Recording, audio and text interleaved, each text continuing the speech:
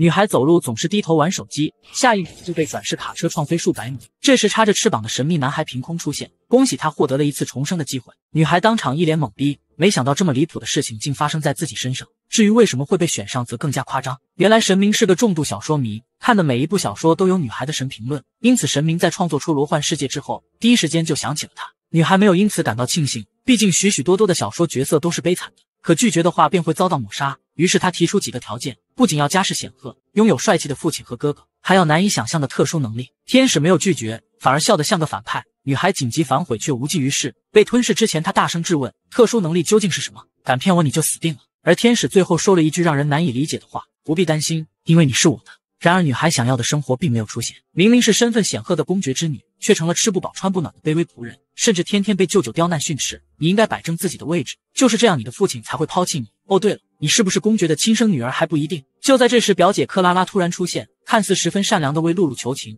实际上却在背地里不断羞辱她。当天晚上，她的小腿被打得血淋淋，甚至还被罚了一星期都不准吃晚饭。后来恶毒表姐克拉拉还落井下石，不好好干活的人是不配吃饭的，你以后可要认真点做事。露露在心中怒骂那个恶魔，难过的流下眼泪，甚至产生了一死了之的想法。立马又劝说自己不能那么脆弱，一定要在这个评分为零的世界里活下去。很快到了表姐克拉拉的生日宴会，今年的她又穿上了定制的豪华礼服，据说一件衣服都可以买下一栋豪宅了。露露躲在黑暗处暗自神伤，可克拉拉却故意将自己的鞋子弄脏，因此露露再次成了那个遭受羞辱的仆人。你在干什么？饿了一周还不够吗？还想挨打是不是？女孩被羞辱的体无完肤，豆大的眼泪止不住的掉了下来。就在这时，消失多年的公爵父亲突然出现，严厉的质问道：“我女儿的头发好像不是金色的。”贫穷女孩被神明选中进入罗幻世界，一出生就拥有和梅贝尔一般的容貌家世，却被亲舅舅当成仆人百般虐待。今天多年不见的公爵父亲终于从战场上回来，第一时间就来到了侯爵府。舅舅慌乱的掩饰着自己，还说露露只是家里干活的下人。可公爵怎么会认不出自己孩子？故意反问道：“这个寒酸的丫头，该不会是帕埃拉顿宫女？”露露的心瞬间咯噔一下，言语中近乎恳求：“就算这样，您能不能带我走？我只是没能洗干净，才会是这副模样。我很会洗衣做饭，可以用劳动来抵饭钱。”还可以每天都给您擦皮鞋，我擦的很亮很亮。说着说着，他的眼泪止不住的掉下来，急忙揪住公爵的裤脚。我想回家，爸爸，请带我走吧。露露下定决心，一定不会放手，怎料却被公爵单手提了起来，就这样往外走。眼看就要离开这里，公爵猛地停了下来，用魔气将克拉拉的礼服当场撕碎。竟敢贪图不该拥有的东西，简直是找死！其实克拉拉每年的礼服都是公爵买给女儿的，却被侯爵占为己有。回去之后，露露过上了从未有过的幸福生活，短短十天的时间就恢复了健康。只是公爵从没来看过一次。以他多年看小说的经验，公爵应该是看着像反派的好人。这只股买对了。为了一直住在这里，他决定先工作抵饭钱，因为这是来之前就说好的。侍女们看着自家小姐手足无措，公爵家的小女儿怎么会是来干活的？然而露露却认为自己被抛弃了，不可能成为真正的子女。你在这里干什么？突然，公爵出现在这里，身上的气息让人不寒而栗。露露急忙表示自己很擅长打扫，所以干活抵饭钱。可公爵却直接将他一把提起，那架势就像要将人丢出去一样。可没想到，他却将露露带到餐桌前，随后严肃的命令道：“快吃！”女孩拼了命的往嘴巴里塞东西，明明肚子都快撑破了，却还是不敢说出半个不字。毕竟公爵父亲的眼神足以杀死一头大象。好在一旁的侍女上前提醒：“小姐和其他几位少爷不同，再吃下去会引起腹痛的。”公爵一脸的严肃，却让侍女安娜做女儿的贴身侍女。露露一听，欣喜不已，这意味着可以一直待在这里。可转念一想，却认为公爵是在乎名声，如果这么快就把女儿赶出去，会受人诟病。公爵就这样盯着露露，一句话都不说，这让他很是尴尬。好在副官前来禀报，皇室还有紧急事务需要处理，这才解决了目前的困境。回去之后，安娜就找上了露露。如您所见，阁下并没有要赶走您的意思，所以作为公爵家的小女儿，您可以安下心来享受就好。其他侍女一听，纷纷附和，这让露露不解：你们很担心我吗？那是当然的。那为什么你们都不肯和我说话？我还以为你们讨厌我。侍女们没想到自家小姐竟是这样想的。您和其他公爵家的人不一样呢，一点架子都没有，还那么善良。从此，露露解开了误会，第一次感受到了来自他人的善意。然而，当天晚上，露露再次担忧起来，因为舅舅说过，她是母亲在外面和别人生的孩子，而且自己的外表和公爵一点都不像，也没能继承魔气。一旦查明是私生子，就不会是赶出去那么简单了。要想活下来，就要表现得像真正的女儿一样，让他因为养育之情而狠不下心。该怎么做，他十分清楚。隔天，他鼓起勇气站在办公室门口，原本想数到十再进去，没想到副官竟先一步打开门：“公爵阁下，让您进去。”露露紧张坏了，还是快速调整状态冲上去：“爸爸，我好想您啊！”在场的所有人都惊呆了：“你很想我，可你在我面前不是很不自在吗？”被戳中的露露有些心虚，还是硬着头皮说只是不太熟悉，所以要时刻粘在一起才会变得亲近。下一秒他就被提到腿上，为了刷好感度，他将双手附在了公爵的脸上。突然，一个文字框跳了出来，以满足条件，确认契约者的身份。特性：Rush and Cash 觉醒。女孩为了在多年不见的父亲面前刷好感度，故意制造肢体接触，没曾想一个文字框却跳了出来。所以天使给的特殊能力竟是这个。公爵没有任何表情，将女儿放在腿上，用手不断戳着她的脸颊。露露惊悟，这难道是小说中暴君变成女儿奴的节奏？然而公爵却说他像是生气的河豚一样。会议结束之后，公爵抱着他从白天一直到晚上，一整天都待在一块，最后天黑才放他回去洗澡。露露有些摸不着头脑，难道是因为早上说过要时刻黏在一起，所以才做出这种举动？但只一秒，他就自我否定。而目前也有更重要的事，那就是白天出现的提示框。他正懊恼没能看完，提示框竟再次出现，特性 Rush and Cash 无法使用。没想到这么简单的觉醒条件，你居然花了这么长的时间才到这里。你该不会以为是欺诈契约，在心里大骂了吧？被戳中的露露有些心虚，难道对着公爵的脸撒娇是觉醒的条件？随后文字框再次更新，使用金币召唤看过的小说，即可随机提取女主能力。对于阅文无数的露露来说，这简直太逆天了，生存下去肯定不是问题，哪怕要征服世界都不在话下。突然又一条消息弹出，能力并不完整，请凭自己的力量完善。条件：获得召唤媒介，奖励五百金币。露露想都没想就接下任务，开始思考召唤媒介会是什么。正常来说是神殿的圣物或者魔塔的宝物，不然就是贵族家族世代传承的传家宝。目前也只可能接触传家宝，但可怕的公爵父亲却是一大难题。想着想着，他就迷迷糊糊的睡了过去。隔天，他被安娜从梦中叫醒，笑盈盈的和几位侍女姐姐问好。看到桌上的珠宝之后，忍不住发出感叹。真的是太漂亮。随后他竟神情低落起来，这些看起来实在太昂贵了。侍女们都表示这种完全可以随便带。他顺势询问公爵府是不是也有专门存放这些的地方？领地的公爵府多的是那种房间，你想去看看吗？可以吗？我在小爱姐姐家里的时候，只要靠近那种房间就会挨骂。侍女们很是心疼自家小姐，直接将她一把抱住。善良的露露反过来安慰道：“没事的，因为现在我有你们这些为我担心的姐姐。”瞬间，所有人一拥而上，将她团团围住，这让她的心里暖暖的。安娜表示，既然是第一次参观，那就要去看公爵府里最好的圣战之房。塔伦卡侯爵府的宝库和那里比起来，根本不值一提。然而就在这时，副官突然出现：“公爵阁下邀请您共进早餐。”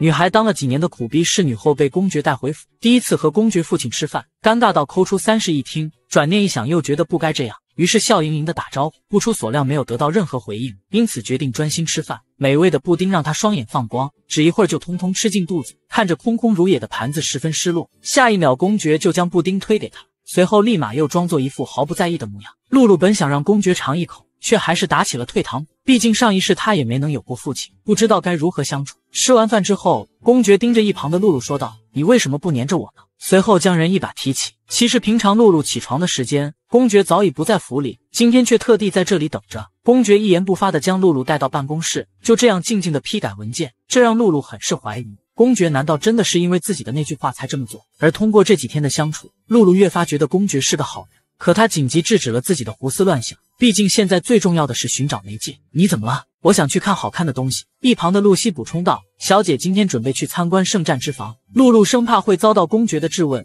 没想到公爵直接扔下堆积如山的文件，亲自带着露露往那边走去。圣战之房的豪华程度令人惊叹，很明显不是普通的宝物。就在这时，一旁的古书发出耀眼的光芒，露露一下就反应过来，任务中所说的媒介估计就是这个。爸爸，这是什么？这是一本封印书，是初代公爵遗传下来的至宝。女孩一副双眼放光的样子，撒娇道：“好神奇，我可以摸一下吗？”可爱到不行的模样，却好像没有掀起任何波澜。她本想先战术性撤退，一个突发任务却跳了出来，说服公爵获得召唤媒介，奖励五千金币抽奖券。为了保险起见，露露根本不想接受。可拒绝任务或者任务失败都会导致退出人生，并且接受任务可以获得提示，这很明显没得选。于是她还是硬着头皮接下任务，一副视死如归的模样，盯着公爵，准备接收所谓的提示。然而下一秒。公爵的脸上竟出现一颗爱心，这究竟是什么意思？冷漠的公爵变成女儿奴，竟只要一个亲亲。露露被迫接受系统给出的任务，下一秒，公爵脸上就出现一颗爱心。拥有超强敏感度的他，一下就知道是什么意思。可这实在是太难为情了。你的表情好奇怪，就像被勒住脖子的青蛙一样。公爵看他不断变化的神情，发出直男言论。露露赶忙让自己冷静下来。现在只要说服公爵就行。爸爸，我会很小心的，真的不能拿出来让我看一下吗？拜托拜托！公爵听完，神情更加凝重，手上的力气也收了收。露露一脸的疑惑，下一秒，更多的爱心冒了出来，还不断重复着：“亲亲他，亲亲他。”事已至此，露露放弃劝说，直接搂着公爵的脖子就亲了上去。不只是公爵，在场的所有人都惊呆了。露露还不知道接下来会发生什么。下一秒，身后的玻璃柜就全部破碎。等回过神来，古书已经在公爵手里。露露急忙伸手去拿，可公爵却拿着书挥来挥去，好像戏弄似的，令女孩抓狂。实际上，公爵只是在确认书本有没有危险罢了。一旁的辅佐官很是激动，不管怎么说，这都是公爵家的传家宝，要是被小姐弄坏了就不好。可没想到，公爵却阴冷的扭过头质问：“这是你的东西吗？”辅佐官瞬间闭上了嘴。露露开心的伸出手夸赞：“爸爸最棒！”这让公爵心里暗爽。周遭的爱心变得更多了，露露立马又补上一个亲亲，这让女儿控的公爵忍得后槽牙都快咬碎了，以至于表情变得更加凝重。而接触到书本的那一刻，无数个文本框跳了出来，成功获得召唤媒介，发放五百金币，发放五千金币抽奖券，获得辅佐官对你的赞叹，获得大管家对你的赞叹。家族内影响力小幅度提升，发放五百金币。很明显，根据人们的反应可以获得奖励。被说服对象满意度达到最高值，即将发放奖励。男人的表情很是平静，丝毫看不出任何情绪。露露本想回房间查看刚刚得到的奖励，却被公爵很自然的带到会议室。据这些天对卡伦塔公爵的秘密监视，发现他开展的魔力石开采事业吸引了很多投资者，并且还都是一些大家族。原本这种事情有着许多变数，在确认魔力石品质之前不敢贸然行动，却因为有流言称帕埃拉顿家族也参与了投资，所以众人纷纷加入。公爵分析起了传出流言的可能性：要么这几个人会投资和公爵府无关，要么就是塔伦卡侯爵把消息透露给了那些人。露露一时不小心将心里话说了出来，瞬间现场安静如鸡，很明显大事不妙。公爵生气的当场发飙。女孩的一个动作，竟然让魔气暴走的公爵冷静下来。就在刚刚，露露不小心在会议上将心里话说了出来，顿时所有人的目光都聚集在她的身上。没办法，她只能将事情的经过说出来。舅舅对着一个衣着华丽的叔叔说：“父亲投资了，还给那个叔叔看了证据，是一张非常漂亮的卡片，虽然很黑，但是一闪一闪，就是长这样的卡片。”这个卡片的发行方是帕埃拉顿公爵家族，瞬间所有人都震惊了，有的斥责侯爵的罪行，有的质疑这件事的真实性，甚至还有人怀疑公爵是不是真的给了钱。若是到时候没能挖出魔力石，那么公爵家族就会背上诈骗的罪名。身后的公爵一言不发，露露扭头竟发现公爵正死死地盯着他。你是怎么听到那些话的？露露以为自己被怀疑了。稍有不慎就是死路一条，瑟瑟发抖的解释道：“舅舅和叔叔见面的时候，我正在给舅舅擦皮鞋。”辅佐官很是疑惑，这几年公爵府每个月都给侯爵一笔天文数字般的养育费，小姐怎么会需要做这种下人该干的事情？露露慌乱解释：“不是这样的，舅舅说父亲没给钱就抛下我走，所以我需要洗碗、擦地、打扫卫生。”他才肯收留我，给我饭吃。在场的所有人都不相信，侯爵明明是个不折不扣的女儿奴，怎么可能对一个小孩子做出这种事？露露尽力让自己的语气更加符合这个年纪，可却依旧没能获得在场人的信任。他生怕因为一句话就小命不保，于是立刻跪地擦起了皮鞋，委屈的泪水不断掉落，努力模拟那时的场景，只求能被相信。够了，你们这是在责问谁呢？瞬间，公爵愤怒的魔气穿过露露，将在场的人勒得喘不过气，让你想起了毫无意义的回应。公爵心疼的想要摸摸女，却还是往回收。明白心意的露露急忙一把抓住魔气暴走的公爵，瞬间被哄好，抱起女儿紧紧护在怀里。不知过了多久，露露在卧室里缓缓醒来，还以为是侍女安娜将自己送回来。眼看四下无人，她赶忙拿出破旧传家宝研究起来。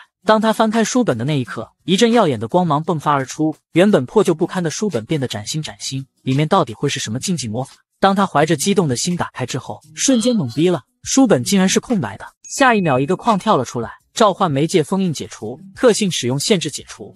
女孩拼尽吃奶的力气将公爵父亲哄好，获得了解封技能的传家之宝。突然系统音响起，请用金币召唤小说提取能力，奖励一千金币。没想到一开始就给了想要的任务。露露随意挥动着手臂，却没有任何反应。根据阅文无数的直觉来说，肯定是那个。确认四下无人之后，他念出了那段中二咒语，拥有如汽水般冰凉血液的存在。希望你能立刻出现在我面前，展现粉碎憋屈剧情的力量。这实在太让人羞耻了。好在真的触发了剧情，请说出想要召唤的小说名称。我的选择是，虽然是豪门，但我要逃跑。只要有钱，就不用担心什么时候会被赶走了。然而金币不足四个字赫然出现，真是一如既往的贫困潦倒。突然系统再次提示，是否使用五千金币抽奖券？露露高兴的大声回应。祈祷可以获得五千金币，可在恭喜之后得到的竟是一百金币。目前一共一千一百金币，手气果然是一如既往的差。突然，他想起刚刚还有一条没有确认的消息，露露并没抱太大希望。没想到奖励竟是小说租借券，还是整整三天，简直比五千金币还要好。露露开心的对着公爵办公室的方向跪拜起来。看来目前最重要的还是收集金币。突然，门外传来侍女的声音，露露连忙将书本藏了起来。您一定饿了吧？看您睡得很香，就没有叫醒您。没想到您居然在阁下的大腿上睡得那般不省人事。露露简直不敢相信自己听到的话。一开始您只是点头打瞌睡，后来干脆四肢摊开呼呼大睡，大家都忍不住笑出声。还是阁下亲自将您抱了回来。露露现在真是想死的心都有了。爸爸一定觉得我很麻烦吧？露西急忙解释，阁下真的很疼爱您，平常连量尺寸都觉得麻烦，今天却吩咐裁缝过来为您定制，所以他只是对这种事情比较生疏罢了。其他侍女也是十分赞同。自从您来了之后，经常能看到公爵阁下展现和从前不同的样子。毕竟公爵家族的人和普通人不一样。露露十分疑惑这是什么意思，而露西急忙使眼色避开这个话题。因此，露露认为帕埃拉顿家族肯定隐藏了什么秘密，要想办法打听一下。另一边，露露的侯爵舅舅正大发雷霆。因为公爵的出手干预，他失去了所有的投资，就连银行也拒绝了延期还款。难道公爵知道自己造谣的事了？恶毒的他心生一计，叫来女儿克拉拉，想让她到公爵府打探一番。你想不想你的表妹啊？你去公爵府看看她怎么样？傲娇的克拉拉根本不把露露当妹妹看，认为就算见面都应该是露露来见自己。经过侯爵的不屑吹捧，她这才勉强答应下来，一副施舍的样子。本小姐亲自驾到，她一定会感激万分的。此刻正用餐的露露忍不住打了一个喷嚏。女孩想要贿赂侍女，精心画了一幅画。侍女安娜看后夸赞她画的玻璃真好，而露露却撇撇嘴表示猜错了。这是我和安娜姐姐牵手的样子。安娜听后感动到痛哭流涕，不会把她当成传家宝，世世代代供奉起来。露露虽然不理解，却大为震撼，给其他姐姐也都画了一幅。有的说以后要带着画进坟墓，有的说要贴满房间，每天看着入睡，还有的看了上面的爱心，直接掏出小刀就要挖出心脏献给露露。原本十分理智的成年人，竟变得如此疯狂。就在这时，安娜表示散步时间到了。今天是去玻璃温室。露露迫不及待的想去看看，却因为跑得太快摔了个屁墩。突然，公爵出现在跟前，问他这是在干什么？我摔倒了，为什么？公爵很是不解。安娜解释，小孩子本就会经常摔倒。公爵双手插兜不屑的吐槽，真是柔弱。失痛的露露伸出手撒娇：“爸爸，您扶我起来吗？”老父亲叹了口气，默默将人抱了起来。看到女儿受伤的膝盖后，脸上瞬间阴沉，带着人就大步走向卧室。看着颜色越来越深的伤口，他决定亲自给女儿上药。一旁的侍女都窃窃私语：“阁下能涂好吗？会不会让小姐的伤更严重啊？”可让所有人都没想到的是，公爵的动作虽然僵硬，却很是轻柔，小心翼翼的，生怕将女儿弄疼。这也让露露感动的心里痒痒的。阁下，服装店派人过来了，而且会议也快开始了，应该把小姐放下来。公爵的神情变得阴沉，一言不发的带着露露往外走。原本等待开会的家臣们只能跟在后面。此刻的第三接待室，服装店的店员正激烈讨论着，连续多年都给这位传说中的小公主制作礼服，每一件都价值连城，不知道究竟长什么样。一旁的服装师尤特拉则更加紧张。公爵家族直系血脉的特征是乌黑的头发、血红的眼眸，以及比野兽还要凶狠的强大气势，因此他不断给自己洗脑，就算长得像缩小版的公爵，也不能显得太失望。然而，当他扭头一看，瞬间惊呆了，甚至连鼻血都喷了出来。这个娇小可爱的萌妹到底是什么情况？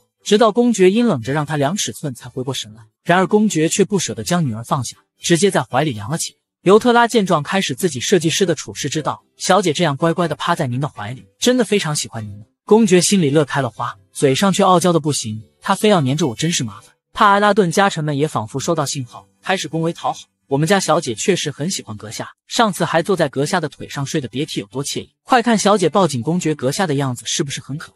我家儿子都认不出我这个爸爸，我可真是太羡慕阁下您了。公爵的嘴角比 AK 还难压，随即赶忙恢复那严肃的样子。一旁的家臣再次出击：小姐您有多喜欢阁下呢？所有人都把爸爸最好的印在脸上。然而下一秒，露露抬起拳头，用手比划了一下，说道：“这么多。”女孩只是用手轻轻比划了一下。在场的人瞬间冷汗直流，甚至连自己埋在哪里都想好。可没想到露露却话锋一转，去掉这么一点，我全都喜欢。我对爸爸的喜欢，就像整个宇宙只去掉这么一丁点。家臣们都被萌到不行，纷纷感叹这是天使降临。然而公爵却盯着他说道：“我刚才没听清。”露露知道这是什么意思，于是难为情的又重复了一遍：“你们听到我女儿说的话了吗？”听到了。小姐真的很爱阁下，您居然这么深受女儿的喜爱，好想知道您有什么秘诀。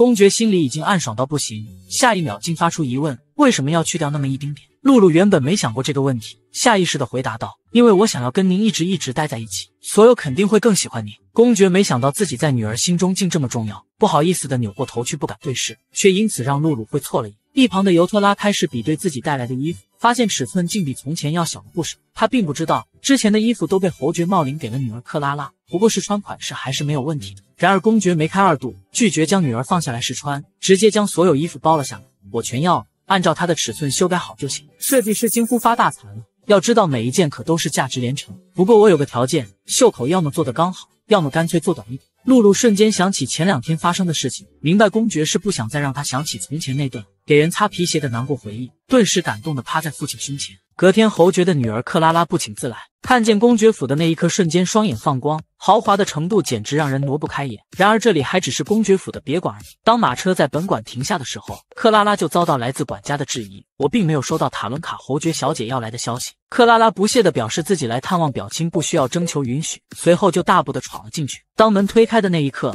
这里的豪华程度令他惊叹不已。随后赫然出现的是公爵画像，帅气的模样已经令克拉拉叛变，甚至开始幻想自己被公爵当成女儿宠爱的样。据说帕埃拉顿公爵感受不到悲伤的情绪，这种人往往是孤寂的。姑父肯定也很希望我能靠近他，缓解他的孤独，这是肮脏的私生女做不到的。克拉拉兴奋地这么想着，仿佛下一秒就要拥有一切。可当她推开门见到露露的那一刻，却愣住。了。她原本就是这样的发色吗？简直变了一个人。她是怎么做到的？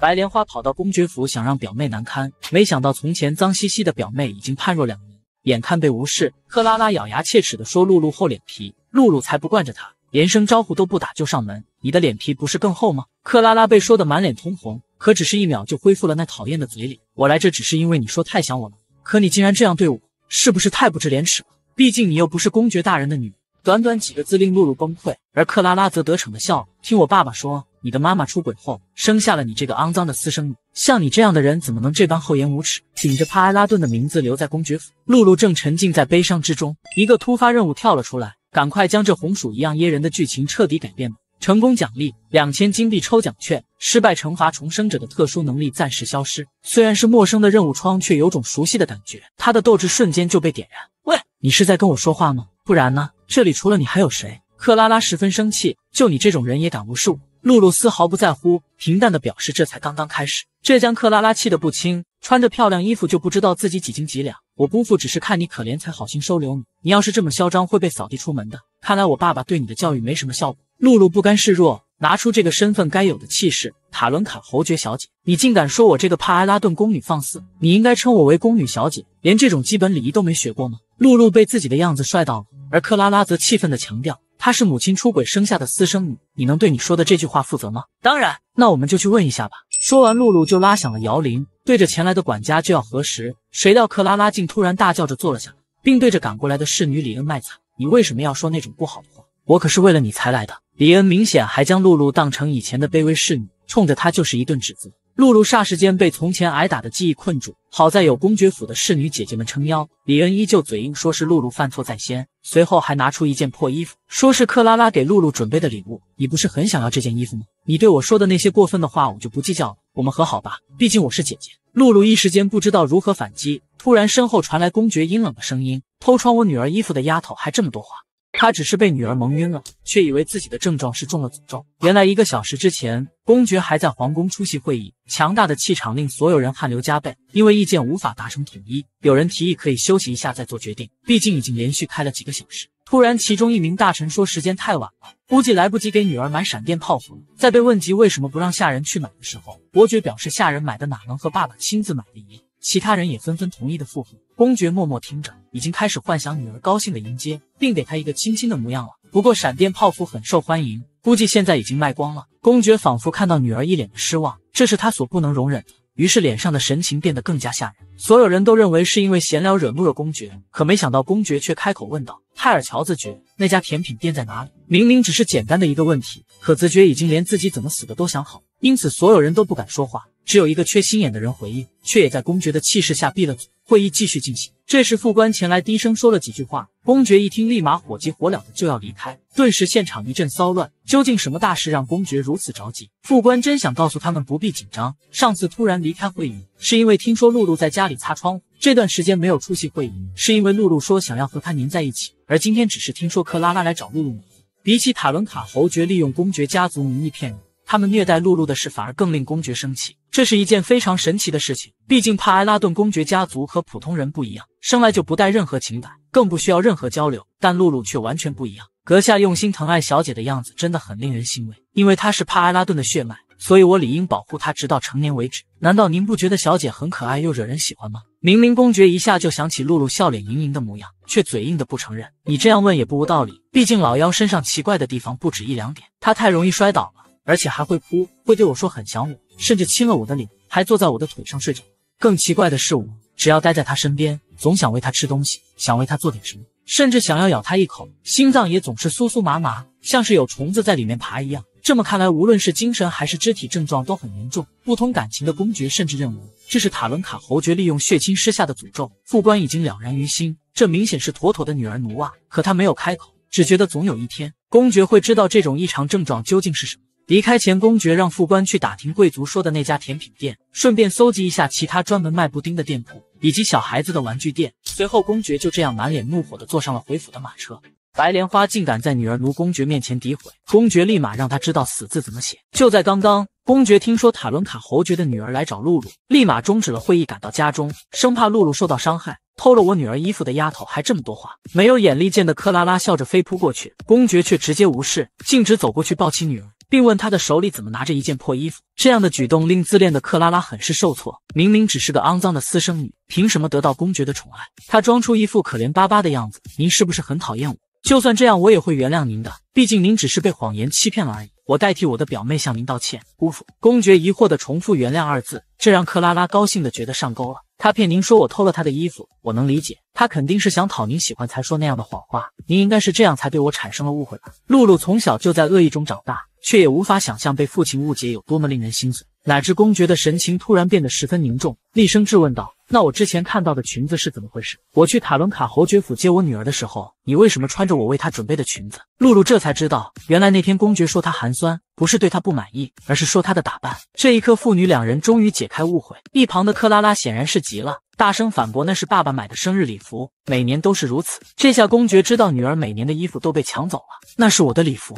不是这个低能儿的。公爵怒了，竟敢这样羞辱自己的女儿，瞬间魔气飘散而出。克拉拉害怕的解释：“所有人都是叫他低能儿，包括父亲和府里的人。”公爵此刻仿佛从地下爬上来的阎罗，威压连成年人都受不了。何况是小孩子？难道你没听过关于我的传闻吗？人人都说帕埃拉顿公爵是穷凶极恶的杀戮者，感受不到悲伤的男人流下的泪都是别人的血。克拉拉还敢口出狂言，说露露是偷走他位置的肮脏私生女。公爵瞬间变得更加可怕，魔气暴走，令克拉拉差点窒息。在最后一刻，公爵勉强将自己压制下来，还是让你活着比较好，滚吧。恢复平静之后，露露坐在公爵的腿上喝起了牛奶。刚刚发生了什么，他并不清楚，只觉得周遭突然暗了下来，感觉却十分柔软舒适。等到视野再次清晰起来的时候，一切都已经结束了。这时，侍卫们突然进来，跪了一地。公爵厉声质问：“该怎么向没有看好家的人问罪？”所有人都齐声请求赐死。是我一时疏忽，没能照看好小姐，甘愿以死谢罪。露露整个人都懵了，难道真的会因为这种小事就让他们自裁吗？然而，公爵一脸冷漠，侍从们也纷纷掏出佩剑对准脖子，很明显是来真的。千钧一发之际，露露出声制止：“不要啊！”只因女儿受到了一丁点的伤害，公爵父亲就要所有侍卫以死谢罪。露露急忙大声制止，称两人只是发生了一点争执，小孩子之间都是这样互相打闹着长大的，所以他们不必受到惩罚。公爵冷着脸朝副官寻求答案，在得到肯定之后，这才放松下来。见女儿将奶沫喝得满脸都是，调侃她这是长了胡子，随后自然的擦掉，并放入口中。在场的所有人都被惊到变形，公爵竟然会做出这么反常的行为。瞬间，他们盯着露露的眼神变得闪闪发光，无数的文本框跳了出来。家臣们无比感激你的恩情，辅佐官对你表示赞叹，管家、是你、下人对你表示尊敬，发放奖励五千金币。露露顿时喜出望外。不是五千抽奖券，而是实实在在的五千金币。一旁的辅佐官笑嘻嘻的拍马屁，小姐似乎心情很好，应该是觉得坐在阁下的腿上很舒服吧。公爵明明乐翻了，却傲娇的表示搞不懂为什么女儿会这样。只有露露知道他们想多了，却也不想泼冷水。结束之后，他累得瘫软在床。突然，系统显示任务部分失败，重生者 buff 随即消失。露露看着惩罚摸不着头脑，自己身上原本究竟有什么啊就在这时，公爵敲门进来，惩罚跑气的汽水突然启动。露露原本没觉得有什么不对，下一秒整个人都不好。好饿好困，醒吃饭。他在床上爬来爬去，随后大声说道：“饭饭。”公爵还在一脸疑惑。露露以为没有十分委屈，又大声说道：“那就给我饼饼吧。”甚至还在结束的时候拍了拍公爵的大腿。这一系列做完，他才短暂恢复了理智。所以惩罚是失去重生者的思考能力，那岂不是会变成小孩子？露露补救般的给公爵揉揉腿，生怕自己小命不保。突然，公爵问起了那本传家宝，露露再次变成小孩子，脱口而出说：“那本书已经变得很漂亮，好好的放起来。”下一秒，公爵的身上开始发光，露露朝着脑袋上的爱心就摸了上去。我像这样夸了她漂亮，我夸您了，您应该说谢谢哦，我也会谢谢你。露露偷瞄着一旁的公爵，想看看他被夸后是不是很高兴。可公爵笑了一下，却问起了那本书。你说那本书变得很漂亮，我还挺好奇的呢。这时，露露的理智再次恢复，此刻的她已经汗流浃背了。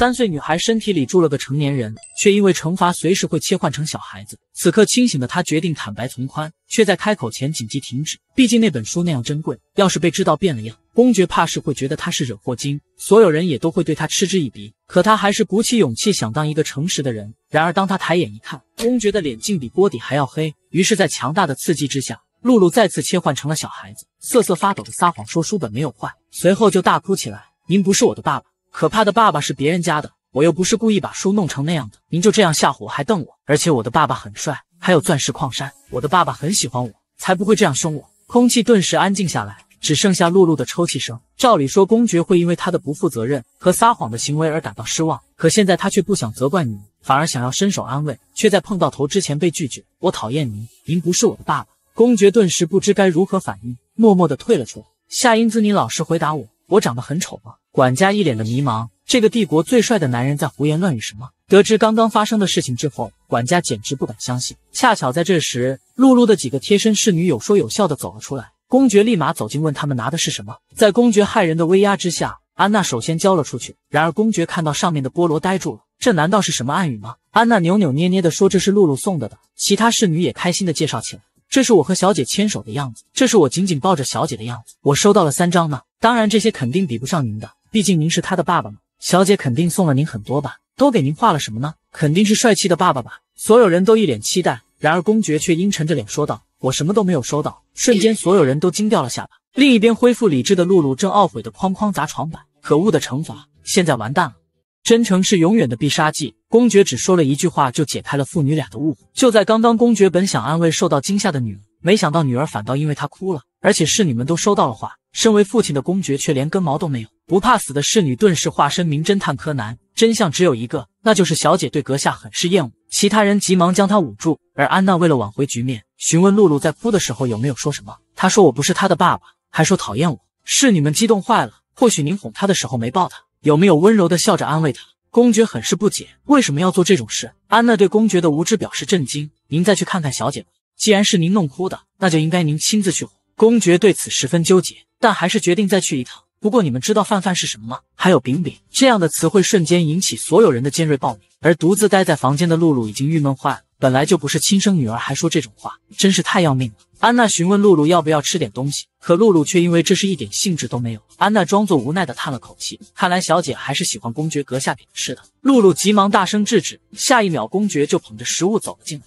一脸悲壮的对着女儿说道：“吃饭饭吧。”露露满脸的懵逼，却还是将所有的食物吃了个精光。味道合您的口味吗？公爵突然的客气让露露疑惑发愣，哪知公爵再次提醒：“请回答我的问题。”露露更加不知所措。一旁的公爵拿着小抄嘀嘀咕咕：“他们明明说让我要尊重孩子，到底有什么问题？”公爵叹了口气，直接将纸张捏碎。第一次决定和孩子谈谈心。你今天是不是被吓到了？这里没有人能伤害你，不管是塔伦卡侯爵还是他的女儿。露露这才知道，公爵刚刚到房间是以为他被克拉拉吓到，这才特地进来哄他。因为不知道什么时候会变成小孩子，露露决定好好表现。其实我刚刚说讨厌您是假话，真的吗？那你有什么想对我说的话吗？其实露露很想问公爵为什么把他丢在那种地方，为什么从来都不曾出现，可还是为了讨好笑着说没有。然而公爵却毫无征兆的拆穿，可是我把你丢在那里那么多年。露露下意识的说，公爵肯定是有苦衷的，肯定是有苦衷的，一定有自己的理由。既然已经回家了，就没事了。我希望你不要这么想，不管有什么苦衷，我都不该把你丢在那种地方。所以你可以尽情的哭出来。听到这话，露露的情感再次战胜理智，眼泪也不受控制的流了下来，捶着公爵父亲的胸膛，不断控诉：“您怎么这么晚才来？为什么要丢下我一个人？您知道我有多害怕吗？您知道我有多想念您吗？”公爵看着女儿伤心的模样，后槽牙都快咬碎了，急忙将她一把揽入怀中：“是我错了，对不起。”简短的八个字让露露十分温暖。此刻两人就像是真正的父女一般，而公爵是只属于他一个人的爸爸。很多小伙伴们问露露上哪看，认准这个 APP，打开之后完整输入“露露看韩漫”，点击这个即可免费看，或者认准这个黑色小方块，点击放大镜，输入“我是团宠”，点击即可观看。快去抢先炫！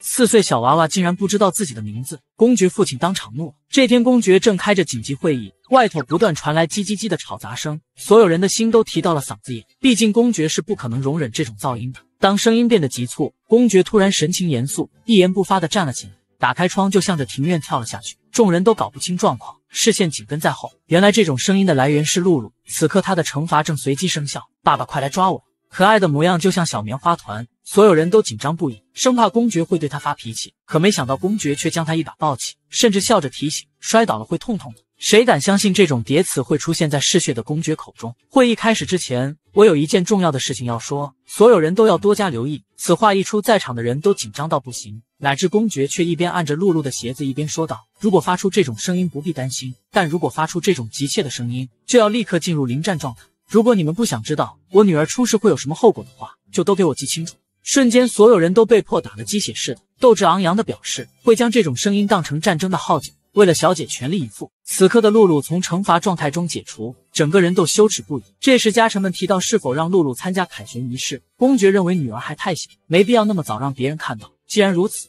那我就将小姐的名字从名单上划掉。听到这里，露露突然双眼放光。扯了扯公爵的衣服，小声问道：“爸爸，我叫什么呀？还有我现在几岁了呀？”众人都是一脸的惊愕，就连会议都紧急中断。从前在侯爵府没人喊过他的名字，称呼永远是私生女、肮脏的垃圾、低能儿，所以他十分想要知道自己的姓名。露露以为闯祸了，独自一人坐在房间胡乱猜测，没必要回想。突然，公爵的声音传了过来，虽然还是一脸的严肃，可如今的他已经明白，父亲只是不善于表达而已。虽然我不知道自己名字和年龄，但是我一点都不可怜，因为我有。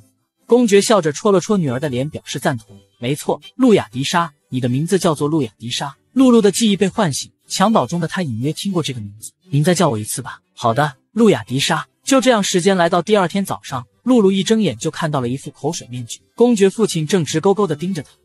女孩一睁眼，发现自己正躺在公爵父亲怀里，瞬间吓得后退了数百米，十分疑惑父亲怎么会睡在这里。突然，昨晚的记忆袭来。原来是惩罚生效的，他哭着闹着不让走，还说走了就会讨厌父亲。瞬间，整个人都羞耻不已。公爵一边宠溺的喊他小哭包，一边细心为他擦去眼泪，然后将自己被露露口水弄湿的外衣褪去，一道狰狞的伤口露了出来。您是不是很疼啊？公爵口中说着还好，手上却将女儿的眼睛蒙了起来，生怕她会因此害怕。可露露却主动将手拉了下来，询问这是不是在战场上受的伤。公爵矢口否认，露露也没再过问，直接爬过去呼了起来。受伤的地方就应该这样呼呼才不会疼。这是很久以前的伤，早就不疼了。但是那时我没能为您呼呼呀。只要受到了伤害就会疼，痛痛全都飞走吧。公爵对此有所触动，毕竟那些不怀好意的眼神亦是如此。那你刚来府里生病的时候，我也该对你这么做。这是露露所不知道的。那时的公爵每天晚上都会去看他，因为提前从前线回来的缘故，皇帝十分不满，因此他每天都要去皇宫，直到深夜才能回来。我在前线的时候从不感觉疼，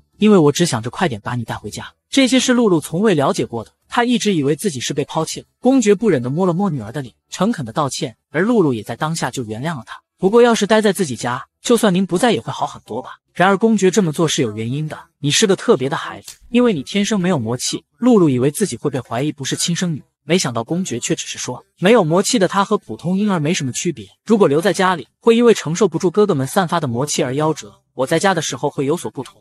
但那时我必须出战。塔伦卡侯爵作为你的舅舅，主动提出愿意照顾你。为了保护你，我才将你送了过去。这期间我还收到了报告，称你在那生活的很好。公爵自责地向女儿道歉，但露露知道公爵只是为了保护没有魔气的她，而这一切的罪魁祸首是塔伦卡侯爵。我希望你能知道，我从未想过抛弃你。露露终归还是问出了那个困扰许久的问题：就算我没有魔气，你依然是我的爸爸吗？公爵的态度坚定且认真，承诺无论发生什么都是如此。露露终于支撑不住，放声大哭，两人就这样紧紧相拥在一起。他之前对恶魔提了很多要求，但其实从小就是孤儿的他。唯一想要的也就是相亲相爱的家人，仅此而已。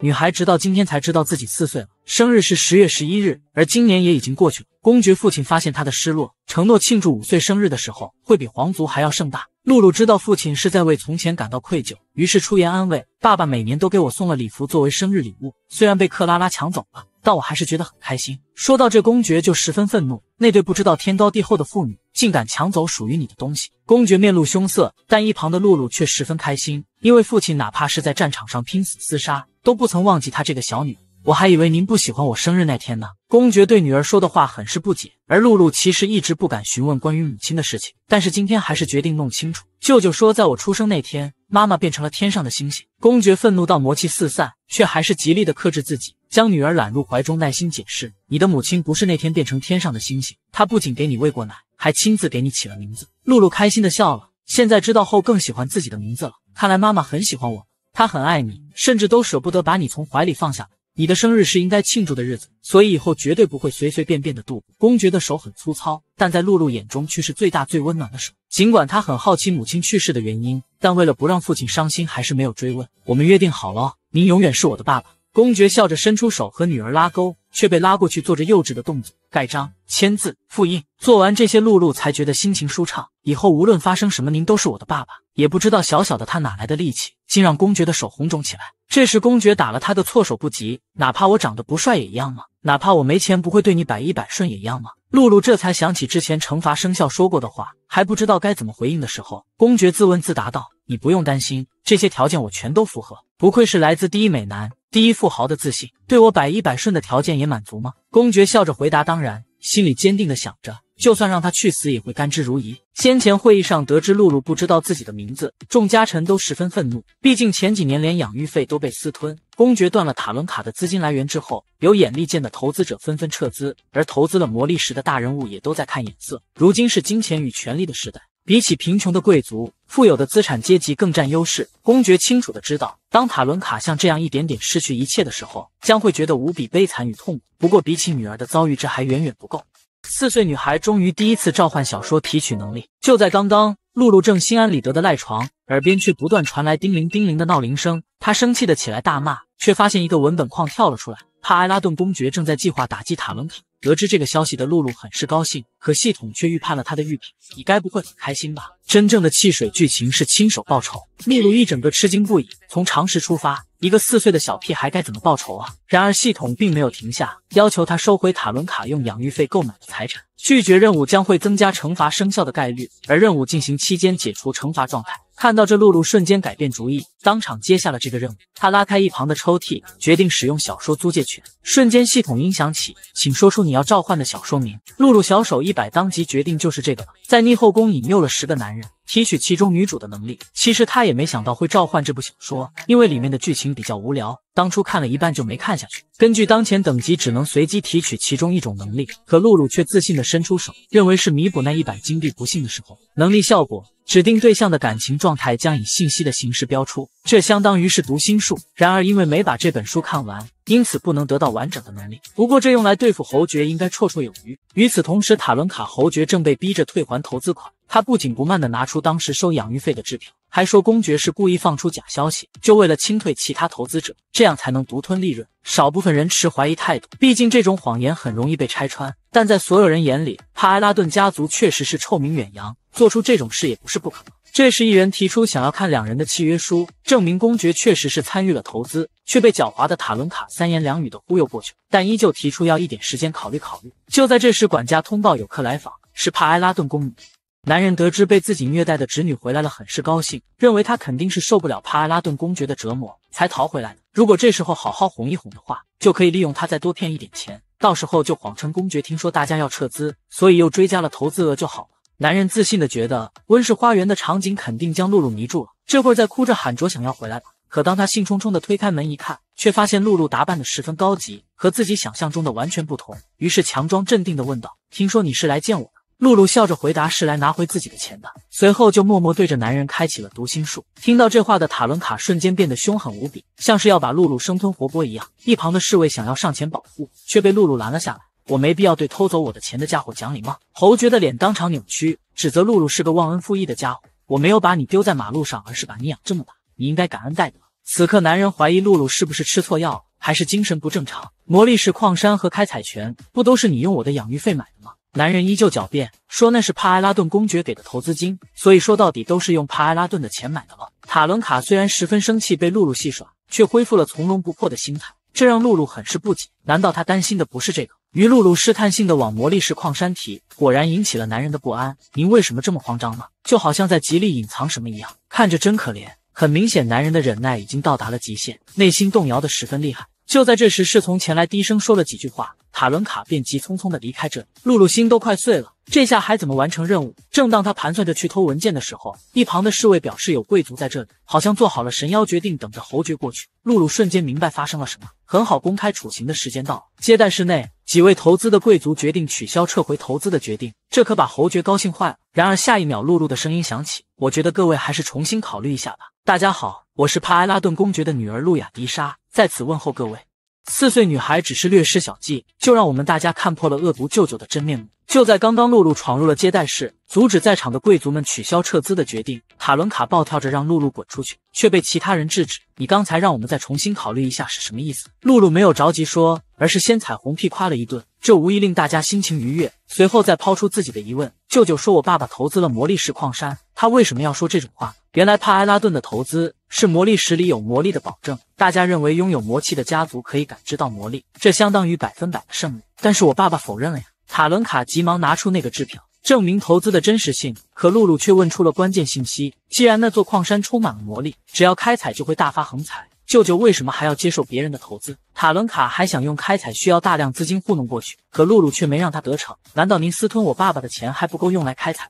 瞬间，所有人都被萌到偷笑。他们认为申请开采权和开采都要耗费巨额资金。因此才要进行集资。然而露露自信的叉腰，嘿嘿一笑：“我知道，但是我爸爸可以支付得起全部费用。那他为什么只给舅舅投资那么一点点钱呢？当然应该自己投资，然后独自获利才对。为什么舅舅要找这么多人一起，然后只赚一点小钱呢？”在场的人已经开始动摇，露露却突然不知道从哪拿出支票簿。塔伦卡瞬间冲上前抢夺，却被一旁的伯爵抢先拿走。很明显，在过去的一年里，帕埃拉顿公爵给的已经完全足够。露露在这时候提醒道：“今年春天和夏天的时候。”舅舅府里的客人尤其多，这下所有人都知道了。塔伦卡其实已经偷偷开采过矿山，发现里面没有魔力，为了弥补亏损，这才拉人投资，到时候再把责任全部推给帕埃拉顿家族。至此疑点解开，露露高兴地冲着他伸出手：“舅舅，您会把钱还给我的吧？被您私吞的我爸爸的钱。”很多小伙伴们问露露上哪看，或者认准这个黑色小方块，点击放大镜，输入我是团宠，点击即可观看，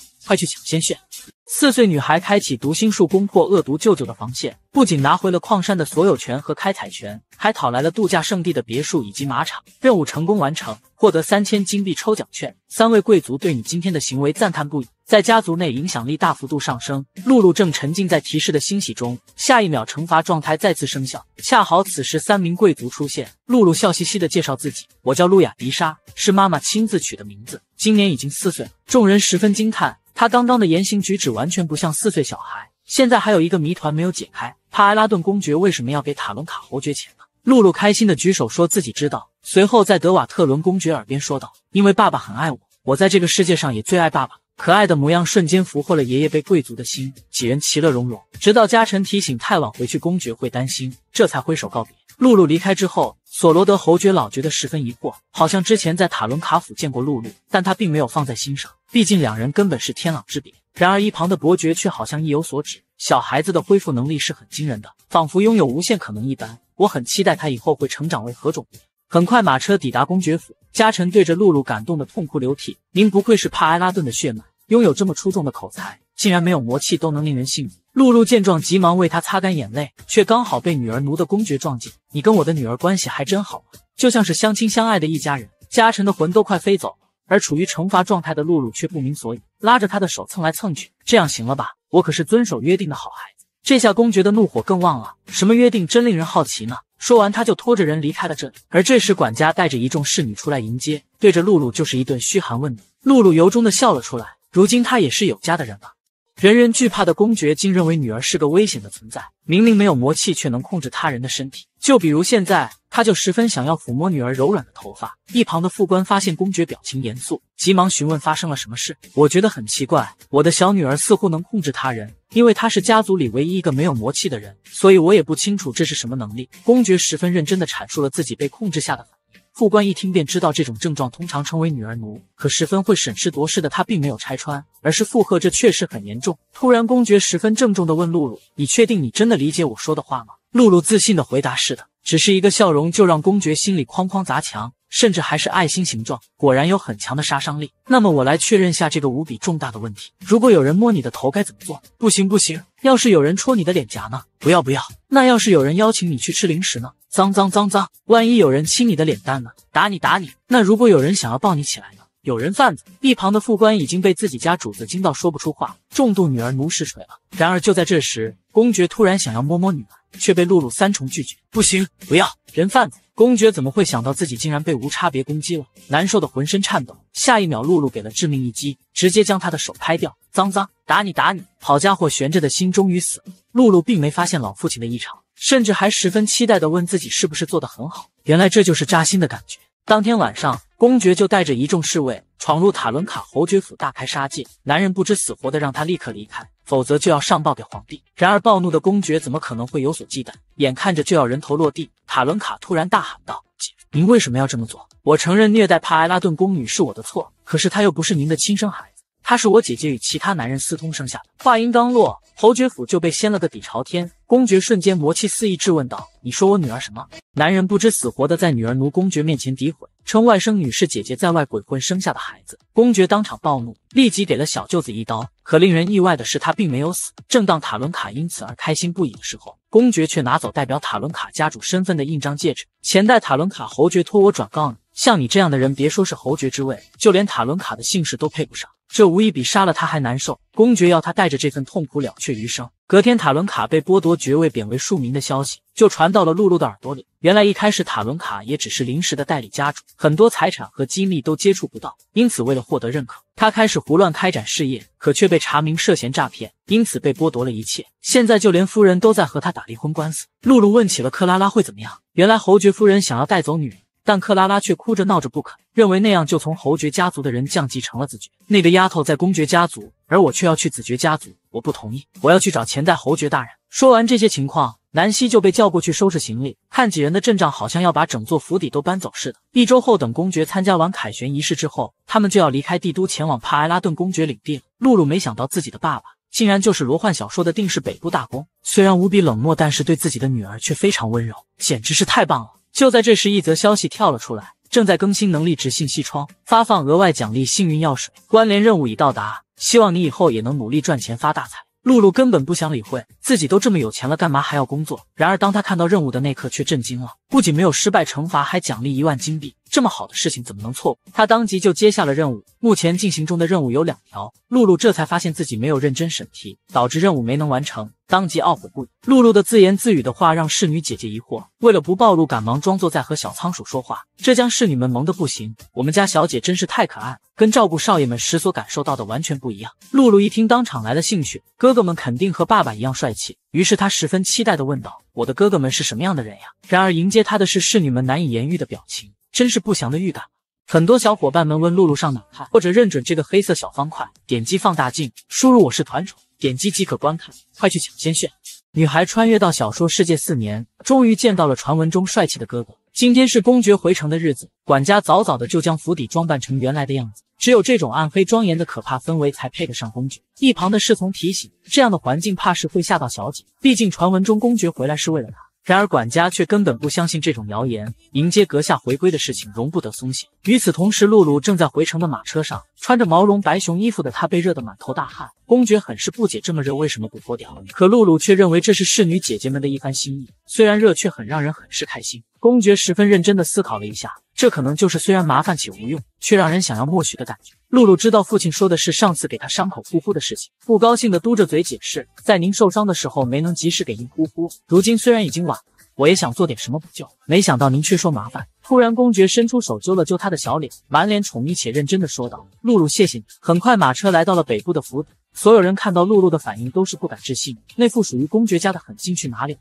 突然，露露因为天气寒冷打了个喷嚏，公爵立刻黑着脸问她是不是很冷，这让管家惊呼不好。主子这是要让小姐永远都觉得冷的节奏。然而，露露的几个贴身侍女却大呼小叫：“紧急情况，小姐打喷嚏了，快带可爱的小姐进去！”北部的的侍从都觉得他们是疯了，这不是妥妥的送人头吗？然而，更令人震惊的是，公爵直接将露露抱起就往室内走去。谁敢信这是不久前冷漠无情的嗜血公爵？就在这时，两个哥哥出现在楼梯上，绝美的容颜让露露当场倒戈，直接给这个世界打了十分。为了留下好印象，他笑容满面的介绍自己。本以为三哥沙利温是个宠妹暖男。没想到男孩瞬间变脸嘲笑：“你就是那个弱不禁风的丫头。既然已经接到了，那我就先告辞了。”露露已经当场石化，可三哥却还扭头警告：“太过柔弱是很容易死。”露露被吓得说不出话，二哥阿雷斯却主动靠近嘘寒问暖：“帝都比这里暖和多了，你一定很冷吧？我的妹妹可不能被冻坏呀！”露露瞬间将二哥当成自己的光，甚至在心里感谢起了那个恶魔。然而事情并没有这么简单。哥哥竟然对着可爱的妹妹动起了手。就在刚刚，露露终于抵达父亲的北部府邸。寒冷的天气令人难以承受，却同时也是泡温泉的好时机。这种事是前世的他想都不敢想。温暖身体之后，换上舒适的衣服，简直绝了。是时候去攻略哥哥们。露露开心的和两人打招呼，二哥阿雷斯也笑着招呼他过去。女孩高兴的迈着小短腿飞奔起来，随后轻轻跳上座位。然而三哥沙利温却显得十分不高兴，打过招呼不就行了，还要安排这种场合拉近关系做什么？露露一听不乐意了。好在阿雷斯转移了注意力，我第一次见到你被吓了一跳呢。没想到我居然有这么惹人喜爱的妹妹，让我们以后好好相处吧。从这一刻开始，露露将二哥奉为天使，两人有说有笑，十分和睦。然而一旁的阿雷斯却很是不屑：“你是吃错东西了吗？这种弱不禁风的丫头有什么好的？她很可爱呀。看来你的眼睛是出问题了。”露露此刻更加确信二哥是天使，自己要是有这么没大没小的弟弟，肯定会暴揍一顿。话虽如此，三哥的颜值是真的绝，让露露不自觉地对着他傻笑起。你这是什么表情？让人好不爽。露露解释，视线被好看的东西吸引是没办法控制的，这是人类的本能。一旁的二哥瞬间失落，原来你喜欢沙利温那种类型的呀？这下露露慌了，天使大人怎么能露出那么难过的表情？于是他急忙大声辩解：阿雷斯哥哥最帅，比三哥好很多很多。这下躺着也中枪的沙利温不高兴了，魔气顷刻间就要暴走，然而系统却再次跳了出来。教训一下这个无知的人，让你的声威大振吧。露露认为和家族里的个别人关系不好也没关系，可系统却不让他如意，拒绝任务就会退出人生。既然这样，无论如何都要攻略他。下一秒，沙利温的魔气便朝着露露飞来，可在最后一秒竟被阿雷斯单手接住。男孩一改往常严肃说道：“不要这么过分的欺负妹妹。”女孩为了活命，竟装起了电视剧中的白莲花。就在刚刚，三哥对着露露发起攻击，却被二哥拦下。没想到，却让沙利温兴奋了，认为对付他更加有趣。露露在心里庆幸天使大人没有被激怒。可下一秒，阿雷斯就要教教弟弟什么叫做长幼有序。眼看两人的魔气将茶杯震到抖动起来，脸上的表情也变得十分兴奋。城门失火，殃及池鱼，好不容易开始的罗幻生活不能就这样结束。于是他一咬牙，一跺脚，像是下定了某种决心。对不起，这全都怪露露太可爱了。你们不要为了露露打架，这么一搞，两人瞬间冷了下来，就这样呆若木鸡的盯着女孩。你们两个露露都喜欢，所以露露以后会适当克制自己的可爱。真是伤敌八百，自损一千。两人瞬间没了脾气，就此结束了这场危机。露露知道，就算稀里糊涂的解决了刚刚的困境，却不能就这样算了，毕竟这关系到自己的生死大事。不过看过无数的罗幻小说的她。对解决这件事很有信心，可惜的是都比脸还干净，没办法召唤女主的能力，否则拿下沙利温还不是分分钟的事。目前能使用的就是剩余的读心术和罗幻知识。无数的小说女主们，我一定会谨遵各位的教诲。从隔天开始，露露就一直跟在沙利温的屁股后面，这让男孩很是恼火。你为什么总跟着我？还穿了一双吵得要死的鞋子。露露装作十分害羞的样子，表示自己想和他一起玩耍，而且这双鞋子是爸爸让我穿的。这下绝对服从父亲命令的三儿子没话说了。可他扭头却说道：“阿雷斯那个家伙不在，没人可以保护你。你说想和我玩，要不就试试你这弱不禁风的身体能不能承受我的魔气吧。”露露用读心术知道男孩现在的心情好极了，非常期待他会有什么样的反应。然而露露不但没有害怕，甚至还高兴地说：“沙利温是在和他玩。”这让男孩十分烦躁。可露露却装作不懂：“我知道你是想跟我捉迷藏，现在轮到你来抓我了。”说完，露露就往身后跑，自信的认为沙利温想要捉弄他还是太嫩了。然而下一秒。他一个脚滑就要往楼梯下面掉，他安慰自己，这种时候哥哥都会出手相救。可沙利温却站在原地一动不动。千钧一发之际，一只手突然兜住了他。女孩一脚打滑就要滚下楼梯摔嗝屁。原本还站着不动的劣质三哥，猛地就出现救下了他。露露开心的以为自己将他攻略了，可抬眼一看，却发现极其厌恶的神情。沙利温不知道为什么要救他，此刻心里非常不爽。露露硬着头皮问沙利温是不是很烦他，果不其然得到肯定的回答。然而露露却扭捏着说道。可是我想跟你好好相处，这让一向不喜欢和人亲近的男孩不知所措。就在这时，公爵突然出现，露露迈着小短腿飞奔而去，一下就跳到了爸爸怀里。您的事情办完了吗？还没有。那您不能和我一起吃饭了吗？公爵宠溺地戳了戳女儿的脸颊，柔声说道：“和露露一起吃饭饭的时间还是有的。”沙利温简直不敢相信，这种场景看几遍都没办法习惯。突然，公爵问起两人刚刚是不是都在一起，有没有受欺负？这下沙利温慌了。自己确实用魔气吓唬了好几次，还是坦白的好。可就在他打算说出口的时候，露露却抢先一步否认。沙利温一直在陪我玩，可有意思。这下男孩懵了，不知道他为什么要这么说，心中生出一丝异样的感觉。然而这时老父亲却一脸受伤的问道：“比和爸爸在一起更有意思吗？”两人都是一脸的无奈，只有公爵对回答很是期待。从这天起，沙利温就消失的无影无踪。府邸实在太大，露露到处找都找不到，读心术的能力也全都用完了，这让他烦躁的大喊。真是愁死我！这一幕恰巧被阿雷斯看到。虽然你叹气的样子也很可爱，但是我一想到我的妹妹有心事就好心疼。所以能跟我说说你在烦恼什么吗？露露不高兴的撇嘴，其实是沙利温老躲着我。我想和他变得亲近，可他却总说我很烦人，讨厌死。这时阿雷斯瞥了一眼柱子，故作委屈和吃醋。看来露露更喜欢沙利温呢，这让露露大惊失色，慌忙解释阿雷斯哥哥是最重要的，沙利温根本没法和他比。你简直是我人生的福利。露露还想多说点什么。阿雷斯突然在他脸上亲了一下，甚至笑容满面的说：“这是他的荣幸。”好家伙，这谁顶得住？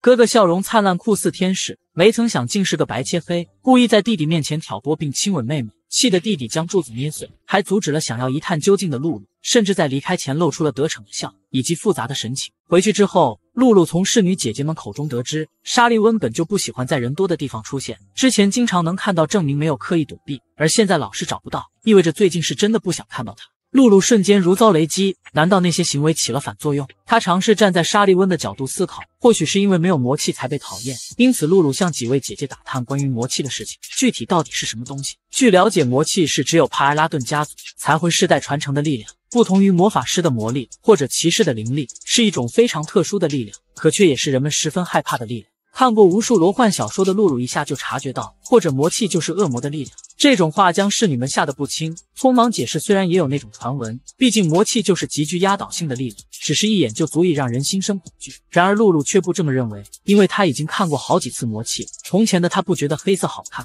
但后来却觉得美到令人忘记呼吸。魔气是夜晚，是能让人闭上眼睛休息的，比任何东西都要温暖的夜晚。这番言论不止打动了侍女，甚至被窗外的哥哥听到。你也听到他说的话了吧？上次还把柱子给打碎了，你就不能趁机收敛一下自己的脾气吗？树上的沙利温一副若有所思的样子，想起露露在父亲面前说和他在一起很有意思，转眼又说他和阿雷斯根本没得比，内心纠结又生气，于是临走前说道：“那种撒谎精的话。”才不信！隔天是露露回到府邸的第一次家臣会议，他们对于露露将矿山要回的事情十分震惊，而亲眼见证的迪埃尔子爵更是骄傲到不行，甚至在那后面自封为露露后援会的会员。大家的夸奖让露露有些不好意思，可他没忘记自己正在进行的任务，于是向父亲开口道：“从舅舅那收回来的矿山可以交给我管理吗？”所有人都惊呆了，慌忙表示露露还小，而且没有接受过财政教育。怕是很快就会把这笔钱全部亏光。然而公爵却说出霸总宣言：亏光了也没关系，我有的是钱。这样豪横又宠溺的爸爸谁不爱？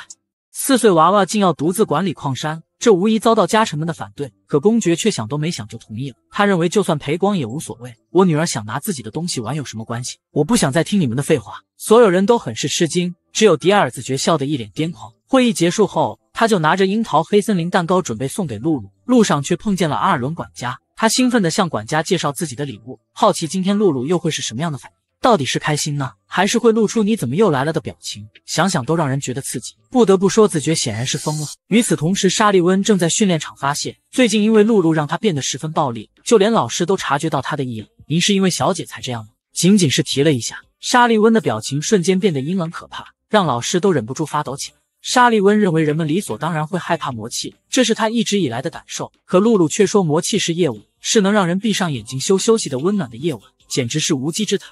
只不过是为了依附于强者而精心编造的谎言罢了。他无比坚信自己的推测，可心里却很是在意，到处寻找着露露的身影。或许现在找不到是和喜欢的阿雷斯在一起，为什么每天都能听到的烦人的脚步声不见了？沙利温顿时变得不安起来。直到在庭院看到露露的一只鞋，他当场明白露露是被绑架了。果然，这就是弱者的结局，脆弱的人只会落得这个下场。这是他多年来一直秉持的想法。可心中却有一个声音不断响起：去找他，找到他，我要找到他。沙利温几乎将整个府邸翻过来。终于在府邸边缘的森林找到几人的身影。沙利温此刻愤怒极了，只是一瞬间，两人就变成了一滩血水，只留下沾满血迹、瑟瑟发抖的露露。看着妹妹一脸的惊恐，沙利温当场红了眼眶。果然，说不害怕都是假的。男孩将绑架妹妹的两人当场撕碎，只留下妹妹在血泊中瑟瑟发抖。他难过的认为露露是对他心生恐惧，更加笃定先前的理解和喜欢都是装出来的。可就在这时，一双沾满血的小手突然出现，女孩带着眼泪笑着表示感谢，她的神情变得更加阴森，认为露露在这种情况下都满嘴谎话，心中顿时生出一抹杀意。你不是很害怕吗？露露下意识的愣了一下，这让她更加确信露露是个骗子。可没想到，刚刚还故作坚强的女孩顿时爆哭起来。没错，我刚才确实非常害怕。你这个坏蛋，怎么这么晚才来呀？为什么？为什么？露露一下又一下的拍打着沙利温，男孩当场愣住，这是什么情况？怎么好像很依赖他的样子？好像他会来营救是理所当然的事情。沙利温不自觉的蹲了下来，露露当场情绪崩溃，抱着哥哥就大哭起来。滚烫的气息猛地袭来，不禁让沙利温觉得再这么哭下去，露露会像棉花糖一样融化。这件事很快就传遍了府邸，所有人都是震惊不已，同时点燃了公爵的怒火。虽然所有人都在坚守自己的岗位，却还是出了这种事情。阿雷斯也出面指责，敢让我妹妹遭受威胁，你们要如何承担这份罪责？家臣们知道难辞其咎，第一时间就着手调查。绑架犯是黑暗公会的成员，似乎是接到了某人的委托才进行绑架，但现在人全部死，想要调查出幕后真凶还需要一点时间。就在这时，露露突然出现，询问他们为什么不问问自己。然而公爵并不想让女儿回想起不好的事情，可露露却说自己是帕埃拉顿的一员，应该出一份力，而且我知道犯人是谁。原来是露露接收到了新任务，这才急急忙忙的跑过来。之前有人让我去沙利温所在的修炼场，那个人就是迪埃尔子爵。他是女孩的第一粉丝，今天却被指认是绑架女孩的罪犯。一开始所有人都觉得不可思议，随后却又开始怀疑起来。子爵本人更是着急解释自己是多么疼爱小姐，不可能做出这种事。然而露露却冷声说道：“别再打感情牌了，叔叔，这种事情只要确认一下就知道真假。”随后露露从副官口中问出，下午沙利温确实是在修炼场，但是只待了不到十分钟就走了。这意味着露露吃完点心那会儿，沙利温就已经离开了。如果露露像平常一样待在主城，肯定就会遇上。可在迪埃尔子爵的推荐下，露露去了东边庭院的露台，这就意味着，除非沙利温刻意绕路，否则两人是不可能遇见的。也就是说，那里是诱拐的最佳地点。子爵百口莫辩，只是一遍又一遍的强调自己是忠臣。可这时，露露却出乎所有人的意料，说道：“我知道，现在告诉我吧，试图诱拐我的犯人究竟是谁？”包括子爵在内的所有人都是一脸懵逼，而露露则继续说道：“叔叔，你仔细想想，你肯定知道犯人是谁。”迪埃尔瞬间想起，在他要去找露露之前，曾经遇到了一个男人，告诉他东边庭院的露台被施了温暖魔法，还有露露最喜欢的花，很适合在那里享用美味的下午茶。那个人就是阿尔伦管家。公爵一听，愤怒的让人将管家带来，而阿雷斯却笑着夸赞露露聪明，好像他一早就知道犯人的身份一样。就在这时，管家被架了上来，还在狡辩自己只是推荐了下午茶的场所罢了。可士兵却在他的房间搜到了绑架委托书，还有来历不明的通讯工具。即便如此，管家依旧不承认。公爵当场下令将人关进冰晶塔，将会亲自审问。所有人都震惊于露露的聪明才智，而迪埃尔子爵更是如此，当场痛哭流涕起来，甚至将露露当成圣女一般追捧，感谢露露的深厚信任，简直是活脱脱的狂热粉丝。公爵见状，直接命人拉了下去，随后阴着脸说道：“既然现在犯人已经抓到了，那你们就用性命来负起属于防备的责任吧。”四岁公爵之女在家竟被绑架，这让女儿奴公爵十分愤怒，当场就要家臣们自裁谢罪。所有人都被吓得瑟瑟发抖，而露露不想连累别人，急忙解释是自己乱跑才会发生这种事。可这种话并不被公爵认可，毕竟女儿只是在家里走动，我雇他们来就是为了保证你的安全。你这么聪明，应该能听懂我的意思吧？露露知道现在这种情况只能使出那招了，于是泪眼汪汪的说道：“因为露露没有乖乖待在房间，所以您才要训斥姐姐和叔叔们吗？既然如此。”露露以后一辈子都待在房间好了，毕竟这都是露露的错。然而事情并没有按照他想象的发展，哥哥阿雷斯竟说这个主意不错。我亲爱的妹妹，我会把天空、鲜花和宝石都送到你的房间的。露露心中已经发出尖锐报鸣，可面上只能继续伪装。那露露可能很快会因为运动不足而死掉。看来只能跟爸爸和哥哥们永别了。此话一出，两人都惊呆了，当场就改变主意，宣布择日处置。所有人都不敢相信，一向专断独行的公爵，竟因为小姐的三言两语就撤销处罚。于是，一个个都在心里呐喊表示感谢。一条条系统文字框跳了出来：报仇的喜鹊任务完成，奖励五千金币抽奖券，家族中影响力大幅上升，发放八千金币。另外，惊喜奖励最多可抽取两万金币。一连串的奖励让露露惊掉下巴，赶忙回到房间查看状态窗，发现有关沙利温的任务还是没能完成，意味着男孩依旧没把她当成家人。露露虽然有点委屈，却还是很感谢他能救下自己。为了得到攻略沙利温的力量，他决定先抽取金币再说。于是高兴地召唤出大转盘，却发现所谓的两万金币只占了可怜到不行的一条细线，而其他不是谢谢惠顾就是十金币，这不是妥妥的坑爹吗？于是露露当场拿出幸运药水，毫不犹豫地喝了下去。没想到还是薄荷巧克力的味道，简直美滋滋。突然一股力量喷涌而出，露露一口气打开了所有的抽奖券，一阵强光之后，女孩整个人都惊呆了。倒霉女孩喝下幸运药水，瞬间化身欧皇，一下就获得了两万六千金币，简直是老太太上花轿。头一回啊！趁着这个气势，露露立刻召唤小说。短命恶女不需要爱情，只要获得女主能力，就能确认沙利温的好感度。与此同时，躺在床上的沙利温突然虚弱的开口：“怎么？你要现在杀了我吗？”来人竟是阿雷斯。腹黑的男孩微微一笑：“怎么会呢？就算用这种方式杀掉你。”也无法证明我的能力。没想到你竟然这么幼稚！你应该庆幸那会魔气没有暴走，否则你现在早就已经是具尸体了。原来那时的沙利温为了快点找到露露，将魔气扩散到整个公爵府，这也就意味着他将自己的命赌进去。沙利温知道自己不能暴走，否则不仅是自己，就连露露都会没命。听说露露来找你好几次，你都不见她，那个小家伙可伤心了。真的好神奇，你竟然会对他敞开心扉。沙利温最硬的不肯承认。阿雷斯也不再多说什么，只是将他的眼睛蒙了起来。随后开始补充魔气。你为什么要帮我？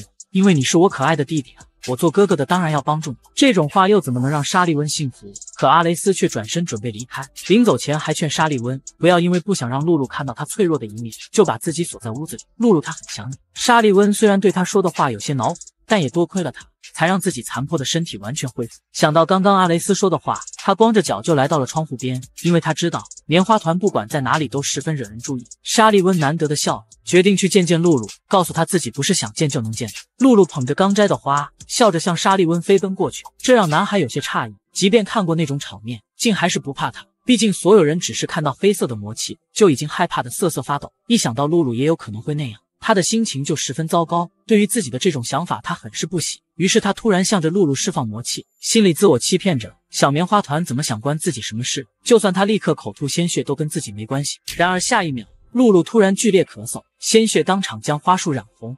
男孩故意用魔气试探妹妹，想要证明自己不可能受他影响，可妹妹却猛地口吐鲜血，昏倒在地。在场的所有人都惊呆了，而最慌张的则属当事人。其实这只是露露刚刚获得的能力造成的。越是受到周围人的喜爱，越是会咳血，而这些血会将不好的东西排出，是身体不断好转的表现。所以碰到沙利温的魔气咳血反而是件好事，这是他被爱的证据。然而不明真相的沙利温整个人都慌了，怀中的露露强撑着告诉他没事，可话还没说完就昏睡过去，像是死了一般安详。这可将沙利温吓坏了，不断摇晃着小小的身体求他不要死。事情发生后，公爵就来到女儿身边。第一时间叫来了医生诊断，结果显示非常健康，吐血只是因为要排出浊气。你怎么没有一天是让我放心的？之前被诱拐，现在又是咳血。公爵忍不住想起第一次见面时，他瘦骨嶙峋又瑟瑟发抖的样子，本以为只要让他吃好喝好就可以解决一切，没想到他却要求陪在身边，真是要求又多又难缠。公爵嘴上这么说，可心里却十分甜蜜，仅仅是喊了女儿的名字，都像吃了甜品一样，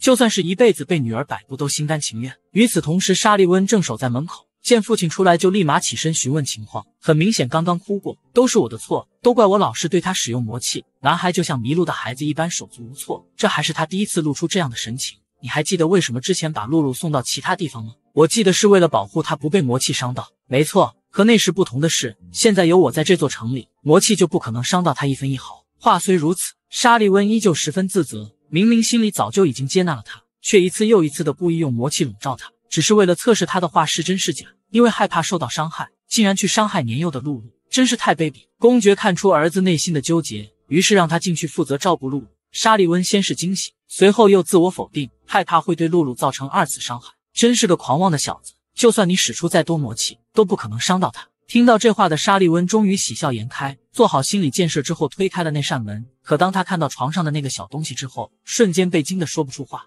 男孩意外让妹妹吐血昏倒，这才惊觉妹妹对自己有多重要。对着昏迷的女孩就是一顿自我检讨：我错了，我以后再也不欺负你。你快醒醒吧！我也想和你好好相处。就在这时，系统提示不断响起。露露没有当回事，只觉得很吵。可当说到内脏脂肪减少的时候，爱美女孩瞬间来了精神。而她一睁眼就看到了床边顶着熊猫眼、疲惫不堪的沙利温。是你一直在照顾我吗？男孩不屑的解释：“这都怪你太弱了。”露露心里酥酥麻麻的，之前还以为沙利温是个坏蛋，但其实只是个嘴硬心软的孩子。我从很久以前就孤身一人。所以很渴望有人陪伴，因为陪伴和支持可以让我拥有幸福温暖的心。所以沙利温，我需要你，你愿意成为我的哥哥吗？男孩有些错愕，体会过失去的感觉，也不再嘴硬。你是个弱不禁风的孩子，所以以后我会好好保护你，因为我是你的哥哥。随着两人的手搭在一起。任务完成，音响起，发放三千金币。露露十分惊喜，沙利温终于承认他是家族的一员了。看着男孩将要掉到地上的黑眼圈，露露邀请他一起睡觉。男孩瞬间炸毛：我为什么要和你一起睡啊？哥哥本来就要哄妹妹睡觉啊！男孩第一次当哥哥，当场信以为真，乖乖的躺下来。配合露露的指令，莎莉温，你摸摸我的头。男孩犹豫了一下，照做了。露露开始得寸进尺，那你现在先前空翻，再后空翻，然后在空中鼓掌三下。很明显，男孩并不上当。晚安啦，莎莉温。两兄妹就这样面对面微笑着入睡。突然，熟睡的露露来到一处陌生的地方，那个自命为天使的男孩再次出现了。露露生气的快速将人扯了下来。你小子来的正好，你个大骗子，害得我好苦。男孩一脸委屈模样。我不是都遵守约定了吗？让你出身豪门，有帅气的哥哥和父亲，就连我的能力都给你。露露只是愣了一秒，就立刻识破了他的阴谋。天使赶忙逃走，说他只会在看到帅气的脸的时候才打十分，其他时候都是零分。露露不屑的反驳：“帅是一种福利，你要是有意见，就长得帅一点。”天使不满的嘟囔道：“等我找回本体，你肯定也。”话还没说完，梦境就开始坍塌。哎呀，我还没开始说重要的事情，就已经没时间了。我相信你可以，我的。露露没来得及反应，就猛地从梦中惊醒，床上竟然铺满了鲜花，这是什么情况？女孩和哥哥和解后一起进入梦乡，一觉醒来发现床上竟铺满了鲜花，还以为自己是在做梦。恰巧这时侍女进来，说这些都是哥哥沙利温送来的。女孩只感动了一秒，更加怀疑自己是在梦里，毕竟沙利温很难做出这种事。侍女们你一言我一语的猜测，这些花是少爷拿来代替他陪伴您的。如果我们没有进来，他肯定会等到您睡醒了才走。看着手中的花朵，露露心里暖暖的。与此同时，公爵府的某栋大楼里，一群人正开着秘密会议，感叹着最近公爵府与公爵翻天覆地的变化。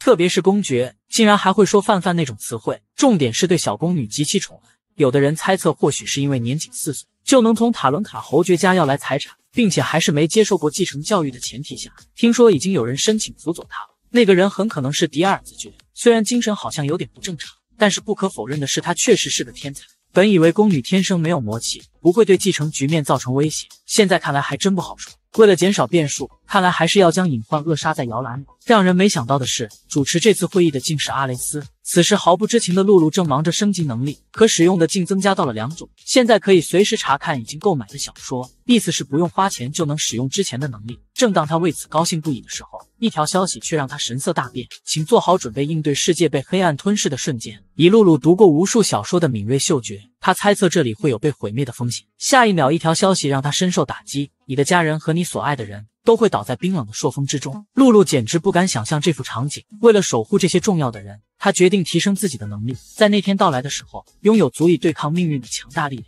于是他高举双手，接受了所有的任务。如今，就算拒绝困难的任务不会有惩罚。他也要迎难而上。突然，一条新任务冒了出来，里面竟都是些简单的互动。露露不由得有些感动，决定下次再见到恶魔时，勉为其难亲点到他。很快，公爵府的大型例会如期举行。公爵抱着年幼的露露闪亮登场，众人瞬间议论纷纷，却什么都不敢说。只有一个家臣自以为是的跳了出来，表示露露连个职务都没有，所以没有资格参加。公爵一听，当场怒了，盯着男人阴冷的说道：“你的嘴里有股恶臭，是没有刷牙牙吗？”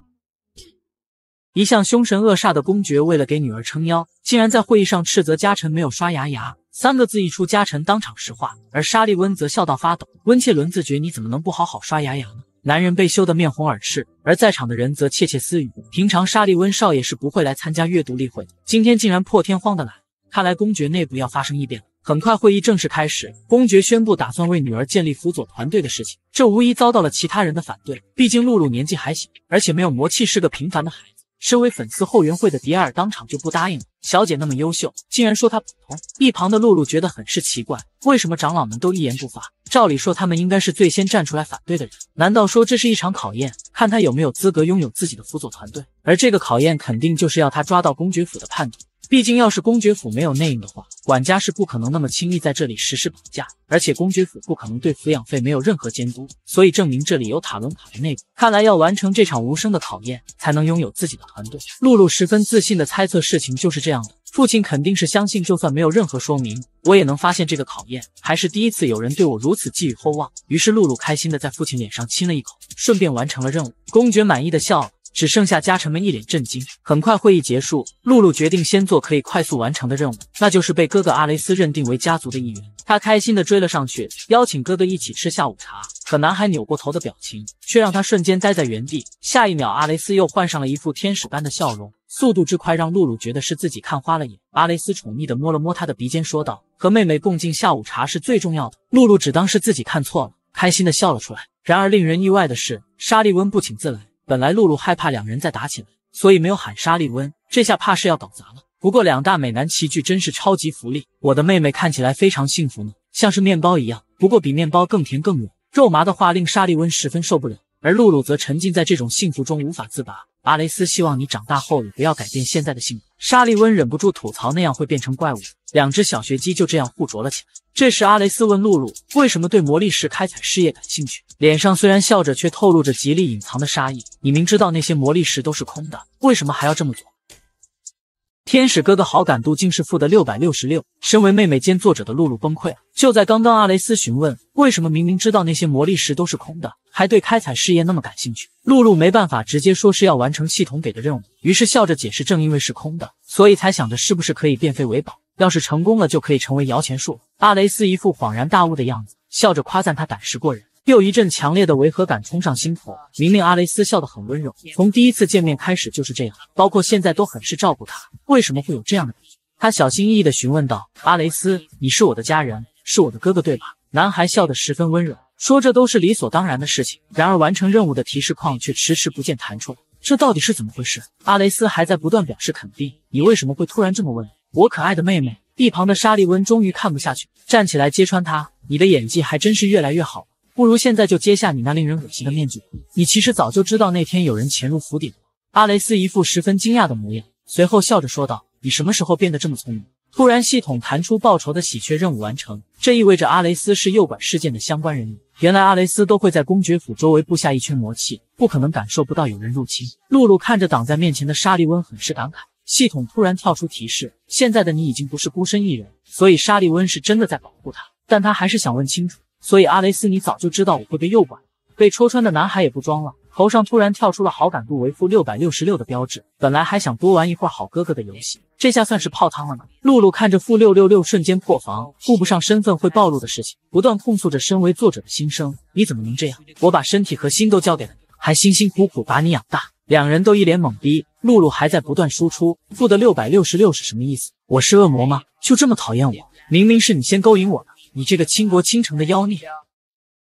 天使哥哥对他的好感度竟然是负的六百六十六。身为粉丝后援会的露露破大防了，一句又一句骂人却好听的话不断输出。你这个倾国倾城的妖孽，祸国殃民的狐狸精，才貌双全的绝代佳人。沙利温听不下去了，赶忙提醒傻妹妹，这些话根本不是在骂人。露露不甘心的质问：“所以你从一开始就讨厌我吗？”在得到肯定的答案之后，继续问道：“我到底做错了什么？是因为我天生没有魔气，还是说你觉得我不是父亲的亲生女儿？”讲到这里，露露难过的就要哭出来，可阿雷斯却反问道：“你说什么呢？就是因为你是帕埃拉顿的血脉，我才讨厌你。因为兄弟姐妹就是竞争者，最后只有一个人能当上家主。”露露一时间有些转不过来，所以阿雷斯正是因为认可他是家族的一员。才会这样讨厌他，没有像别人一样觉得他是没有魔气的瑕疵品，而是当成了站在统一起跑线的竞争者。他快速的冲上前问道：“如果我说我对家主之位根本就不感兴趣呢，你就会收起对我的敌意并接纳我吗？”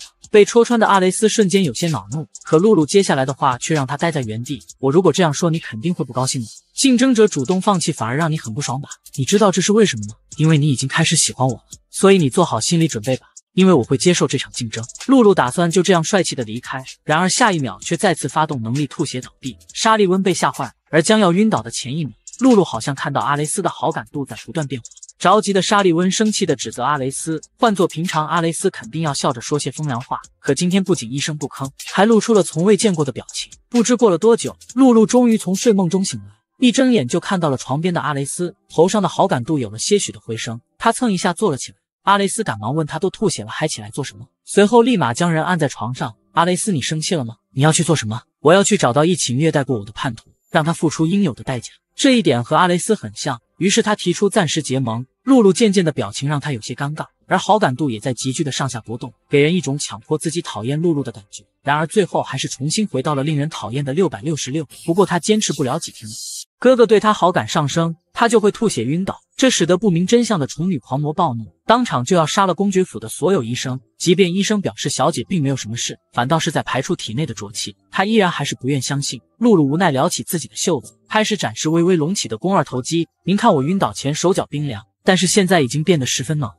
公爵立刻拉着女儿的手确认，果真就像他所说的那样。没想到吐血竟然是在排毒，不要让我太担心了。看着父亲变得憔悴的模样。露露开始讲起了土味情话。爸爸，您知道我现在最想喝什么吗？老父亲一听，当场就想去给宝贝女儿买。没想到露露却说：“我最想呵护您。”所有人都呆住了。然而下一秒却开始骚动。只见公爵拿出一本厚厚的书，甚至还要用魔器才能打开。露露认为这一定是家族的秘卷，却没想到竟是露露的成长日记，记录着露露对他说过的话。终于一场风波平安度过，虽然丢脸，却保住了医生们的性命。而通过今天的任务，露露得到了额外奖励爱马仕去。她兴奋的差点叫出来。激动的朝着上面点了下去，随着一阵强烈的光芒之后，一只小小鸟飞了出来。据说它可以将信息传到任何地方，包括阴曹地府。白激动的露露流出了心酸的眼泪。这下爱马仕却不高兴了。你发现不是名牌包，露出了失望的表情。我都看到了，我可还没承认你是我的主人。露露没有多说什么，只是将面前的曲奇饼干推了过去。小鸟激动的大喊大叫：“你以为我会被这种东西收买吗？”可终究只是嘴硬，仅仅尝了一口就欣然接受，还夸赞他是个好人。而露露调出了当前的任务窗，发现现在只有一个任务可做，那就是让阿雷斯承认他是家族的一员。可当他想起哥哥说的兄弟姐妹就是竞争者，毕竟最后只有一人能当上家主的时候，顿时感受到了一阵怪异的感觉。女孩觉得十分奇怪，明明从第一次见面起，哥哥就将他视为家主之位的竞争者，意味着家族成员的身份被认可。那为什么任务迟迟不见完成？唯一的可能就是在阿雷斯的心里，只是将他当成必须肃清的对象，在规划的未来里根本没有他的存在。想到这，露露忍不住刺痛了一下。爱马仕却发现他的失落，急忙安慰：“等我们再见三次，我就允许你叫我的爱称。”女孩意识到，在阿雷斯的世界里根本没有家人，这是一件让人悲伤的事情。就在这时，沙利温来了。露露快速朝着他飞奔过去，问他有家人是不是一件很好的事情？是吧？是不是很好？男孩瞬间耳根子都红了，不好意思的扭过头去。被戳中之后，还傲娇的跳脚。突然，他十分疑惑地问道：“听说你很喜欢喝一种东西，到底是什么呀？”大家讨论的热火朝天，但不管我怎么问都不告诉我。露露瞬间尴尬的冷汗直流，她并不想再提起这么丢人的事情。可当沙利温因此而露出难过的神情，她还是心软。丢脸就丢脸，今天就泼出去。于是他表演了什么叫做土味情话。沙利温当场被爱心击中，可恶可恶，这也太可爱。很好，又疯了一个。此刻的阿雷斯想起上次和露露的谈话，内心突然开始十分纠结。难道自己真的像小不点说的那样，已经开始慢慢的喜欢上他了？想着想着，他已经来到了露露的房间。女孩开心的向他打着招呼。等到阿雷斯坐下之后，立刻提出问题：所以和塔伦卡串通的那间是谁？看样子你很确定我查到了是谁，这是为什么？露露下意识发自内心的说道：因为你很聪明。阿雷斯显然没有想到会是这种理由，头上的好感值飞速转动了起来。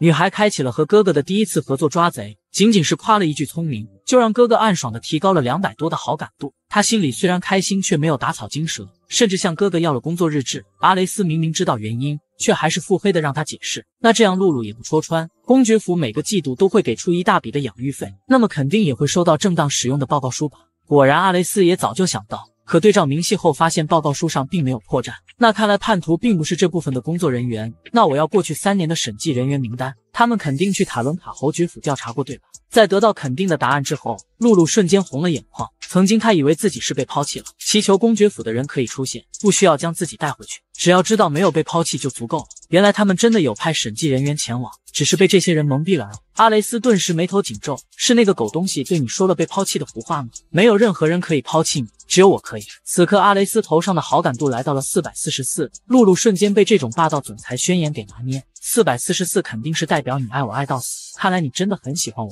虽然露露的话让男孩摸不着头脑，可明媚的笑容还是令他红了耳根。此刻露露已然猜到是塔伦卡收买了审计人员，而他有一个很好的借口，那就是他不是公爵的亲生女儿，是公爵夫人出轨生下的。就算是亲生的，公爵也不可能喜欢一个没有魔气的瑕疵品。阿雷斯终于知道为什么露露之前会那样问，于是没再多说，直接递上了审计人员的名单。连续三年都没有更换过，那么很可能就连他们的上级都是内部。果然，任务完成的文字框跳了出来。但是露露并不打算打草惊蛇，因为还要找出他们的靠山。想要抓住大鱼，就需要鱼饵。突然，阿雷斯笑道：“你为什么不怀疑我呢？我说不定就是假意帮忙，想要撇清关系。”然而，露露却十分坚定地回答：“那不是你的行事风格。”阿雷斯显然没有想到，无奈地笑道：“你还真是让人摸不着头脑。”女孩当场自信回答：“毕竟我的魅力就像洋葱一样，怎么剥都剥不完。说起来，我的妹妹，听说你很喜欢喝一种东西，好像是叫做呵护你天杀的。”这个梗怎么就过不去？阿雷斯笑得像个天使，所以你想呵护的是哪一个？这勾人的笑容让露露在心里怒喊：真是个倾国倾城的狡猾狐狸！女孩完成任务，从小说中获得了特殊能力，可以自动征收别人的收入税金，也就是追踪资金。虽然不如帝王眼来的方便，却也是十分实用。不过想要使用，还要面对面才行，背后的人估计是元老级别的，最快只能等到下次会议才能见到。露露询问阿雷斯什么时候可以见到家族的重要成员。这才知道，马上就是新年宴会，到时候就是个好机会。你很期待吗？当然啦，到实验会场肯定会装饰的很美的，所有人都会盛装出席，优雅的互相打招呼。你还期待什么呢？我的妹妹，优雅的背后是暗流涌动的社交界气势之争，又一个战场，舌尖藏着尖刀，互相攻击的冷酷世界。这就是社交界的政治。露露和年龄不符的言论，还有不断变化的神情，都让阿雷斯吃惊。好在女孩又立马恢复了正常孩子的模样。宴会上肯定会有各种美食吧？会不会有巧克力喷泉呢？阿雷斯宠溺的摸了摸她的脸，表示虽然以前没有，不过妹妹那么想要的话，会叫人准备。露露开心的抱了上去，却迎上了阿雷斯冷漠又严肃的表情。不过女孩已经习以为常了。到时候所有家臣都会出席吗？比月度例会的出席率还要高。已经退下一线的元老都会来。露露开心极了，这下可以一个个排查他们的非法收益了。阿雷斯十分不解，又不是见了面就能知道叛徒背后的靠山是谁，为什么想见他们？露露知道这下瞒不住了，于是半真半假的解释：“其实我会读心术。”阿雷斯自然觉得十分荒唐，可露露却一本正经：“小孩子的眼睛是真实之眼，可以看出一切邪恶的东西。”阿雷斯一听来了兴趣，突然将脑袋贴近：“你看我是善良的人还是邪恶的人呢？”露露顿时心跳加速：“你是坏人，对我心脏有害。”让我砰砰跳个不停。我们不愧是兄妹，这一点很像。所以阿雷斯的意思是，露露对他来说也是这样。不过女孩并没有意识到。很快，时间来到了新年宴会的当天，露露被打扮的十分可爱。这也是她在回到家人怀抱，知道自己名字年龄之后的第一个新年。今天又会发生什么？关键时刻，智商竟然再次离家出走。今天是新年宴会的当天，阿雷斯和沙利温为了妹妹现场掐架，两人唇枪舌战，互不退让。突然，父子三人不约而同朝着一边看入了迷。原来是打扮的十分可爱的露露下来，沙利温差点控制不住让魔力蔓延，而露露则眼疾手快的制止。你要是又把墙砸坏，我会讨厌你。沙利温一听当场老实，而阿雷斯则抢占先机，献上香吻一个。我的妹妹今天真可爱呢，能让我护送你到宴会现场吗？两兄弟再次为了这个问题互撕起来，而公爵见状则直接将女儿抱了起来。真是无谓的斗争，我女儿最喜欢的当然是我。这简直就是传闻中的女儿奴和宠妹狂魔的争夺之战。露露开心的去确认阿雷斯对自己的好感度，可非但不是满格，竟还是负的一百六十，这实在是太过分。不过妹妹今天和我有重要的事情要做，这是只属于我们两个人的秘密，对吧？露露知道为了任务和阿雷斯一起会比较好，可她却在阿雷斯的耳边说道：“想得美，你继续努力吧，我到现在还没原谅你。”他独自往前走了几步，随后回头发出邀请：“我要和你们三个一起入场。”两兄弟对彼此一脸的不满。露露立刻表态道：“你们要是不愿意的话，那我就和安娜他们一起去了。”两人当场辩论，一家人就应该整整齐齐，好开心呀！既然妹妹想要和我们一起，那就不能拒绝。一家人四口就这样朝着宴会厅出发。之后，阿雷斯就在一旁静静观察大家的动向。公爵和元老们去了里屋谈室，沙利温为了保护露露，在一旁陪伴，直到受不了人际关系才离开。而重要的家臣们应该也很快就会从里屋出来，那么意味着叛徒的靠山马上就会浮出水面。他和露露隔空交换着眼神，在找到证据之前要小心行事。阿雷斯就像一个幕后操盘手一样，成竹在胸。虽然并没有确定露露是否真的可以一眼看出对方的好坏，但可以肯定的是，妹妹很聪明。按照之前说的，暗中调查也是绰绰有余。然而下一秒，露露就直接指着元老之手，大声喊道：“这个老爷爷很坏，是偷税漏税的坏蛋！怎么回事？妹妹的智商离家出走了？”女孩和二哥准备在新年宴会上抓出幕后黑手，却不曾想惩罚再次生效，智商一下就变成了五岁小孩，对着巧克力喷泉两眼放光。宫女喜欢巧克力吗？嗯，因为这是阿雷斯为我准备的。看来小姐很喜欢阿雷斯少爷呢，那是当然的。天真可爱的模样将众人萌坏，下意识的就和他玩了起来。就在这时，元老们从里屋出来和他打招呼，露露也快速上前，恭恭敬敬的介绍自己。一人夸着可爱，另一个人却嫌弃的说着聒噪，态度差距表现的十分明显。爷爷，你们是地位很高的人吗？在得到肯定的回答之后，露露拼命回想，见到地位很高的人之后要做什么？有了，那就是寻找坏蛋。于是他准备发动能力接住税金炸弹。不过这个能力只能用五次，那么到底应该用在谁的身上？那个刻薄的爷爷虽然像是坏人，但如果是这样的话就太过简单。于是他选择慈祥的白发爷爷约森哈因。果然存在着五千多万的未申报非法收入，系统开始疯狂提示。见露露好像听不懂，于是换成了简单的结论，那就是这个家伙是坏蛋。露露瞬间开心的指着老爷爷大喊：“你是坏蛋，是偷税漏税的坏蛋！”约森哈因快速转移话题，开玩笑的说：“露露是觉得自己抢了他的糖果。”可露露却坚持说是钱，是他受贿。男人瞬间抓住她的手，面露凶光。您要是再这样的话，我也不会一笑了之。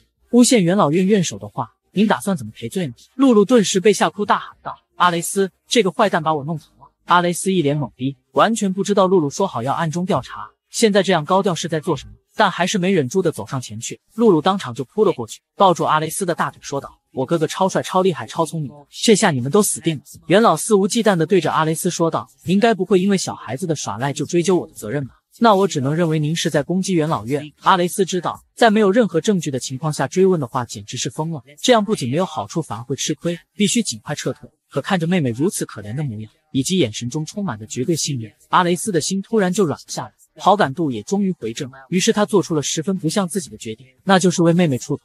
在没有证据的情况定伯爵的罪肯定是不行的。元老认为这下稳了，没想到阿雷斯却说道：“可是我妹妹哭了呀！”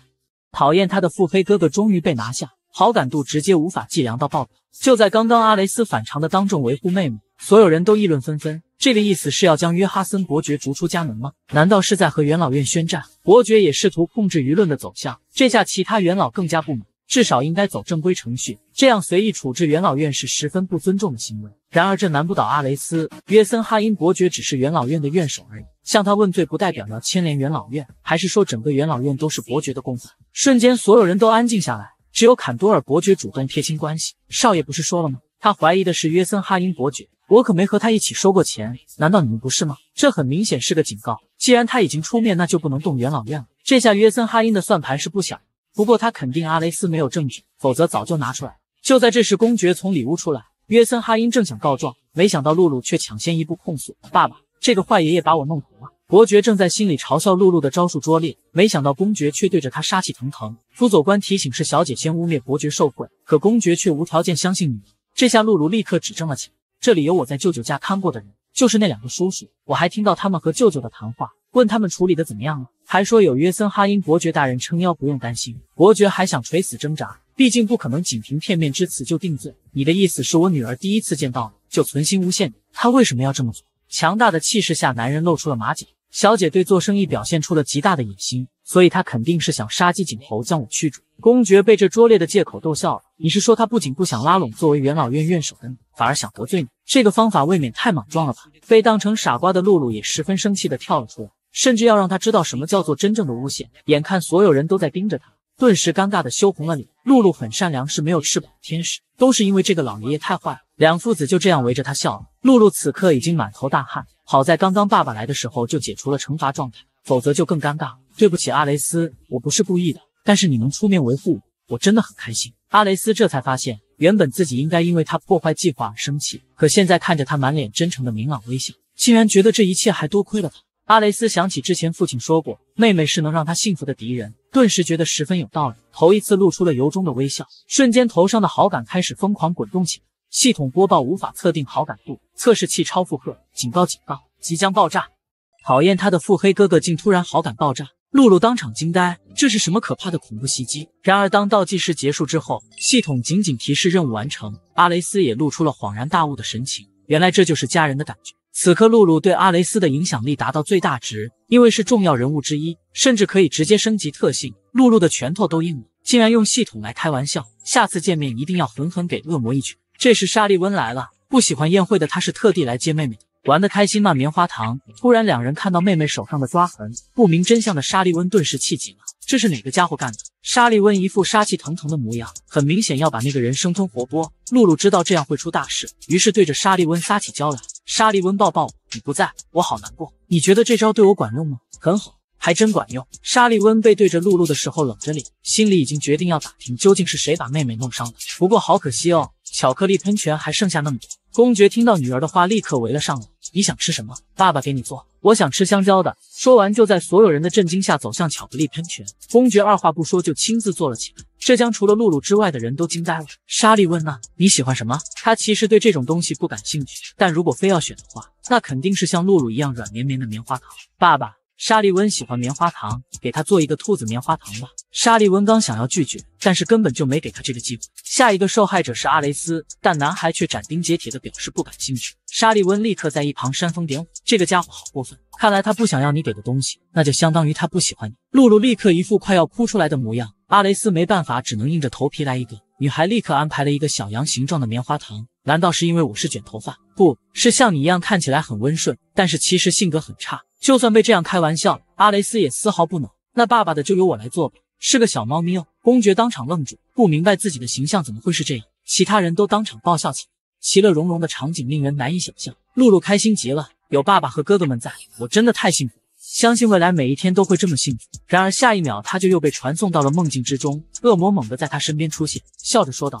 我们又见面了，怎么样？我长大之后很帅吧？”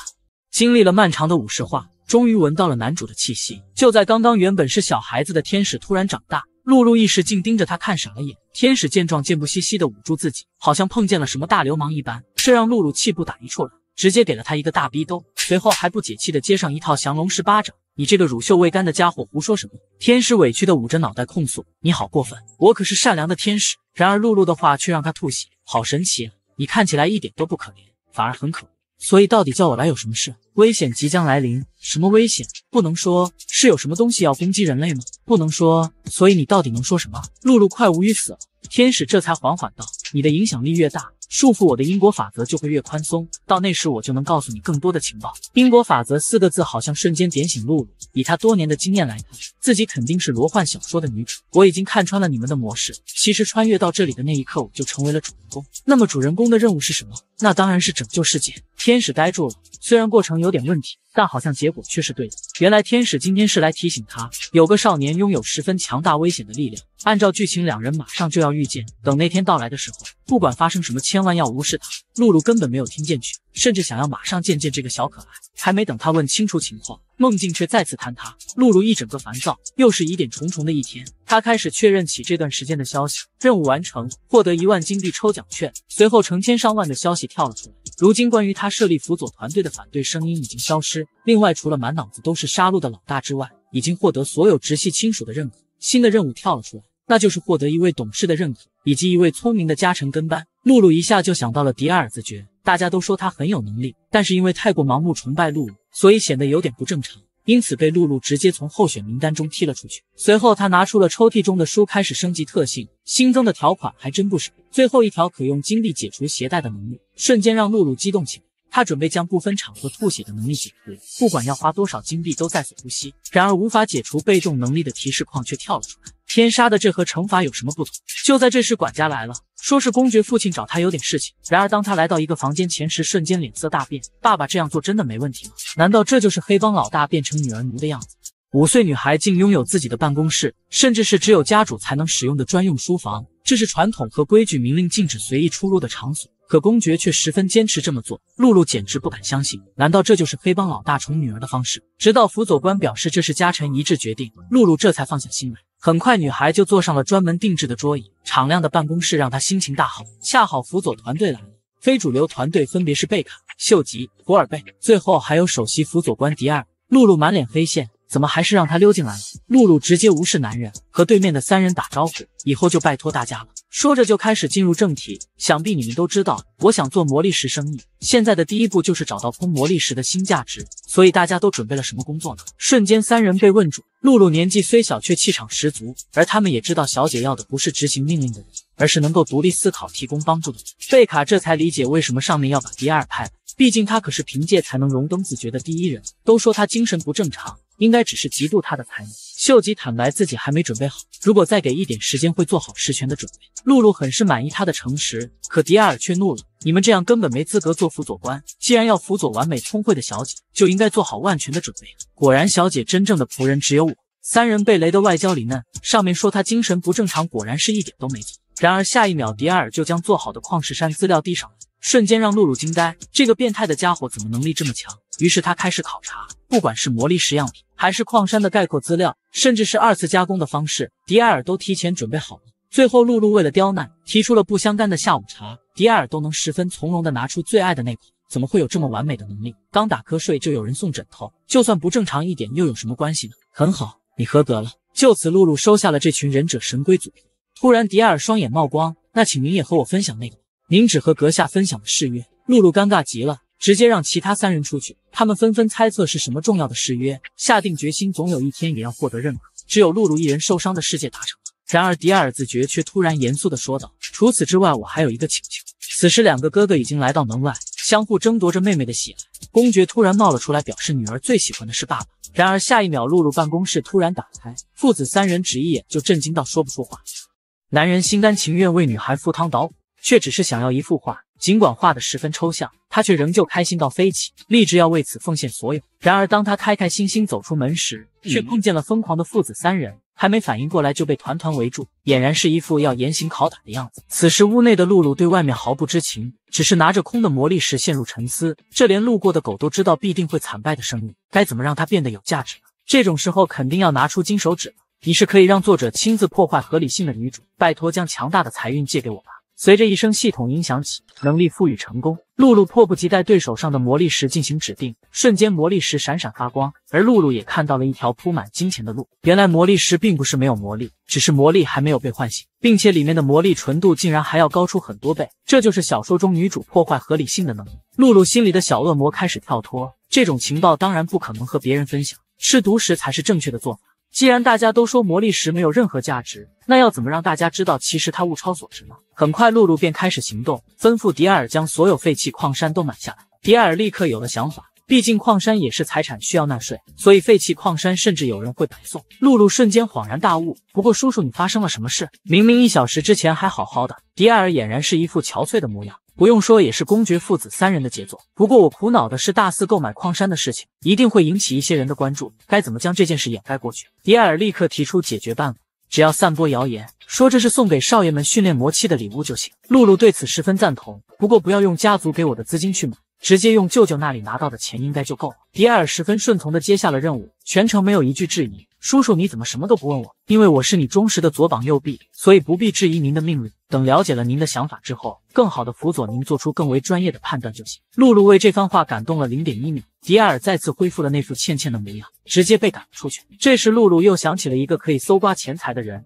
那就是上次的那个元老院院士。于是，她孤身来到地牢，对着男人开始征收税金。因为没有现成的货币，所以是用食物来抵，也就是传说中的封条。虽然露露现实中没有征税的资格。但这些东西仍旧可以直接转移到他的手里。系统解释，这是艾伦特威帝国认可的行为。露露的小脑袋瞬间宕机了一秒，猛然想起小说《真暴君》里的剧情，崩溃了。所以这根本不是征税，而是明晃晃的偷盗啊！女孩使用小说中的能力对男人征收税金，却没想到实际上却是盗窃行为，气得她就要破口大骂。不过话说回来，这个老爷爷贪污的还真不少，征收的食物清单长的都看不见头。突然，上面的达芙内的项链引起了他的注意。这难道是传闻中的精灵达芙内？这才是魔幻小说中应该出现的道具。于是他迫不及待地伸手征收，下一秒，一条项链就凭空出现。露露好奇地打开盒子吊坠，里面的人像瞬间勾起了他的兴趣。另一边，长老会议的内部，大家正激烈地讨论着约哈森因受贿的事情，双方各执一词。而如今，卡尔多伯爵成了唯一的实权人物。这时，他看到了窗边的露露，顿时皱起了眉头，立刻就将窗帘拉了起来。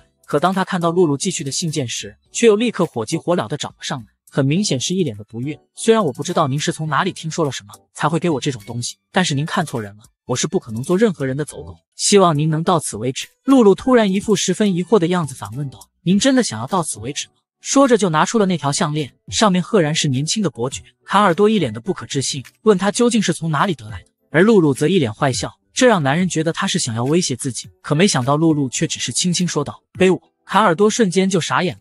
等到回过神来，已经到了露露的房间。现在让我们进入正题吧。达芙内姐姐是您的爱人吧？露露两眼冒光，很明显是进入吃瓜模式了。在得到肯定的答案之后，兴奋的跳了起来，跟我讲讲你们的爱情故事吧。你们怎么认识的？肯定不会是叼着面包赶路，突然撞到这种桥段吧？卡尔多实在不明白女孩要做什么，但还是老老实实回答是在派对上遇见的。露露一脸的果然如此，罗幻小说的最爱就是派对，于是期待满满的继续追问。然后呢？然后呢？卡尔多越看越迷茫，这个奇怪的小孩究竟想做什么？而他本已尘封的记忆，也在此刻清晰的浮现出来。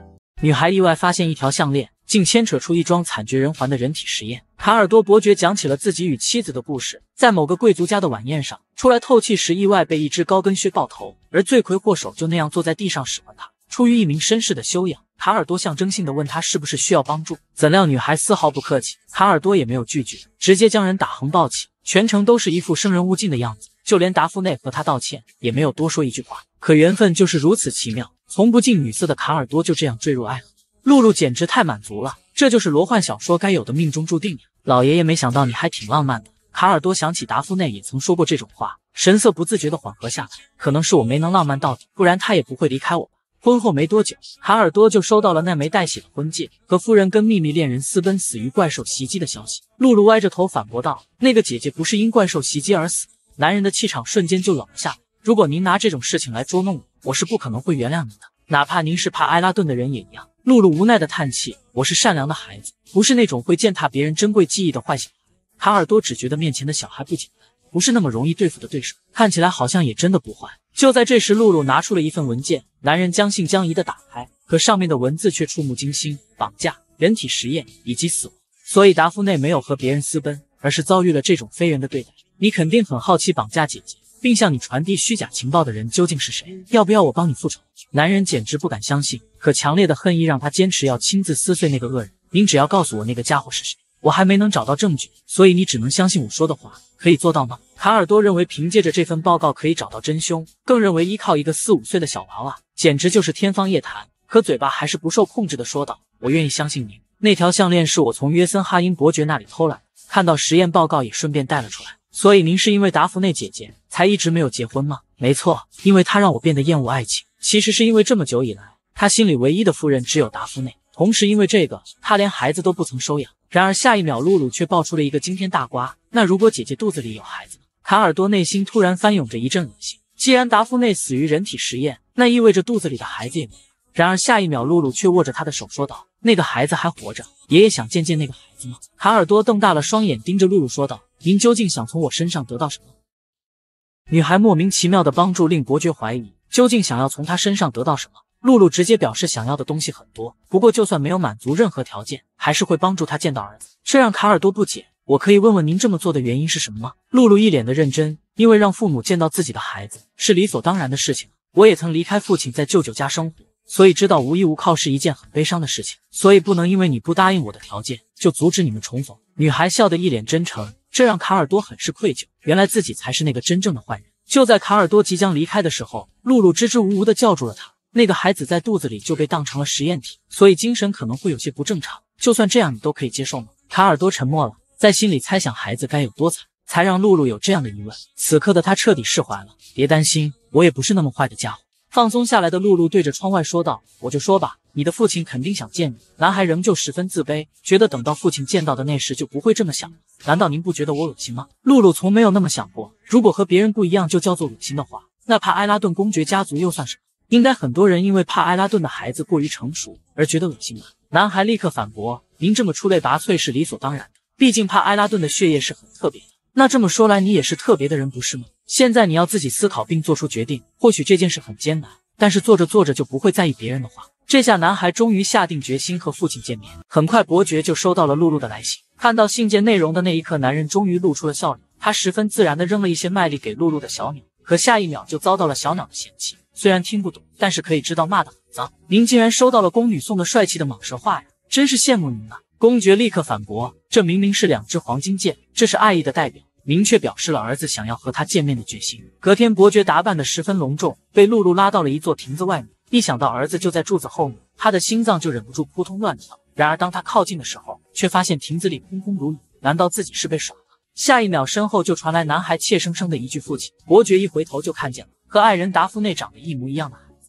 五岁小宫女再次收获一枚死忠粉。就在刚刚，露露帮卡尔多伯爵找到了亲生儿子。男人看到他的第一眼就确认了身份，毕竟那个样子和妻子简直一模一样。奇怪的是，这么多年过去了，男孩的长相竟然还这么稚气。见父亲不说话。男孩急忙道歉：“对不起，伯爵大人，我突然叫您父亲，肯定吓到您了吧？”然而想象中的厌恶并没有发生，我确实很惊讶，我居然有个这么好看的儿子。对不起，我不仅没能保护好你的母亲，也没能保护好你。希望你能原谅我这个没用的父亲。其实达夫内成为实验体的原因很简单，那就是他并非人类。当怀上卡尔多伯爵的孩子后，他就一直担心自己的身份暴露，因此给了约森哈因可乘之机。不过报告里并没有显示出来。所以卡尔多至今还不知道实情，而将报告这部分涂抹的人正是他的儿子。您不觉得我恶心吗？一直维持着这么年幼的样子。卡尔多并没有这么想过，反倒觉得从现在开始可以看着他长大。真的很感谢你给我这个机会，让我以后可以陪在你的身边。从这天起，卡尔多发誓要将余下的人生献给露露，因为他的身份尊贵，是支撑公爵领地中枢的首脑机关成员。所以露露超额完成了系统的任务，他没有拒绝，直接当场答应了下来。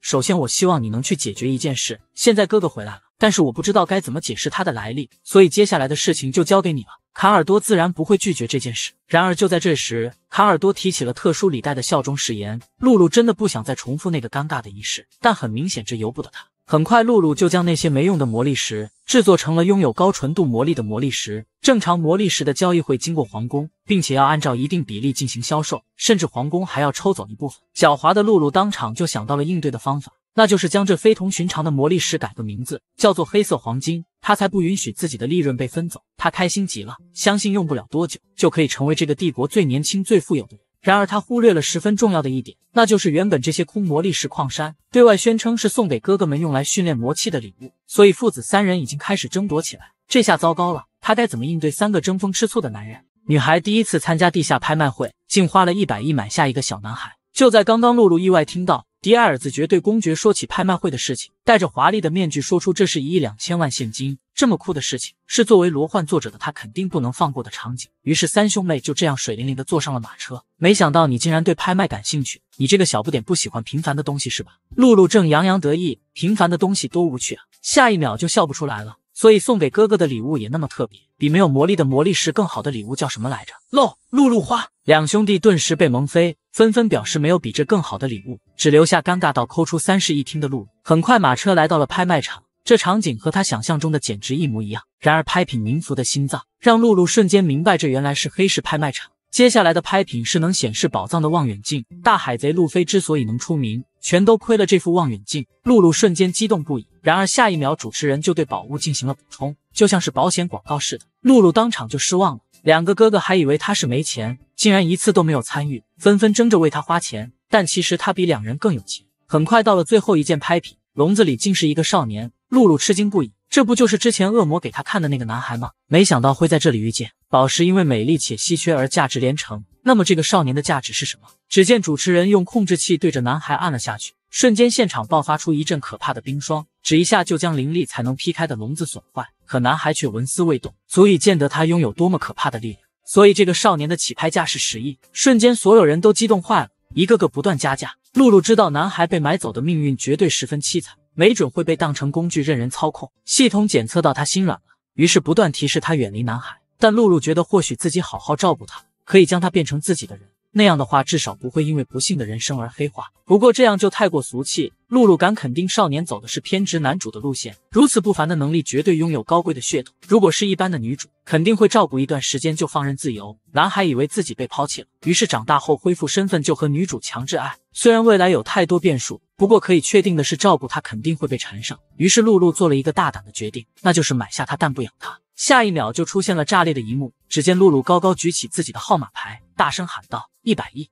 女孩豪掷百亿，只为了拍下一个小男孩。瞬间惊呆了整个地下拍卖场，所有人都迫切的想要知道如此豪横的人究竟是谁。可身边的两个哥哥却吃起了飞醋，都有哥哥了，为什么还要买奴隶？露露赶忙解释，自己只是觉得男孩太可怜了，如果落入别人的手里，肯定会遭受折磨。至此，两人还是一副不买账的样子，直到露露表示自己打算放了他，两兄弟这才露出了满意的笑。原来我的妹妹是为了放他走才买的，真是太善良了。此刻，主持人兴奋地宣布竞拍结果，获得这个男孩的是兔子小姐。下一秒，她竟毫无征兆的七窍流血，瞬间现场伤亡惨重，乱作一团。露露并不清楚发生了什么，就这样在哥哥们的保护下离开现场。他觉得这是两人的第一次见面，也会是最后一次。希望男孩可以好好生活下去。而当露露回到家时，发现父亲早已在外面等候多时。原来公爵听说了拍卖场发生的事情，急忙出来检查女儿是否受伤。只见他十分严肃地拿起掉落的那根睫毛，两兄弟当场进行了深刻反省，承认是自己刚刚跑得太快，看来下次要用魔气保护起来才行。露露觉得这不是重点，重点是自己非要去拍卖场，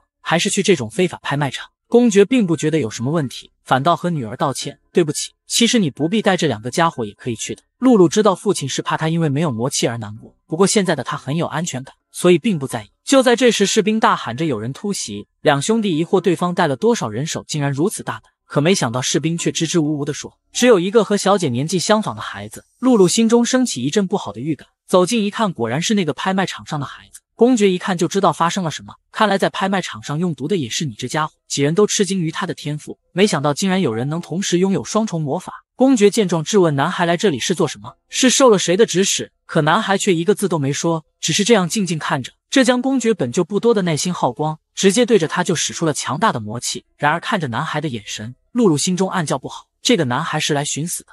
男孩刚从非法拍卖场逃离，没一会儿竟跑到公爵府寻死。露露发现他的真实意图。急忙阻止暴走的父亲。很明显，公爵要让他为袭击府邸付出代价。可露露却表明，男孩并不坏，他明明有能力杀掉所有人，却没有那么做，所以他是故意来寻死。看男孩的反应就知道猜对了。拍卖场的不愉快经历足以让他对众人起杀心，可他却只是对奴隶商人动手，所以这样的孩子不可能是危险人。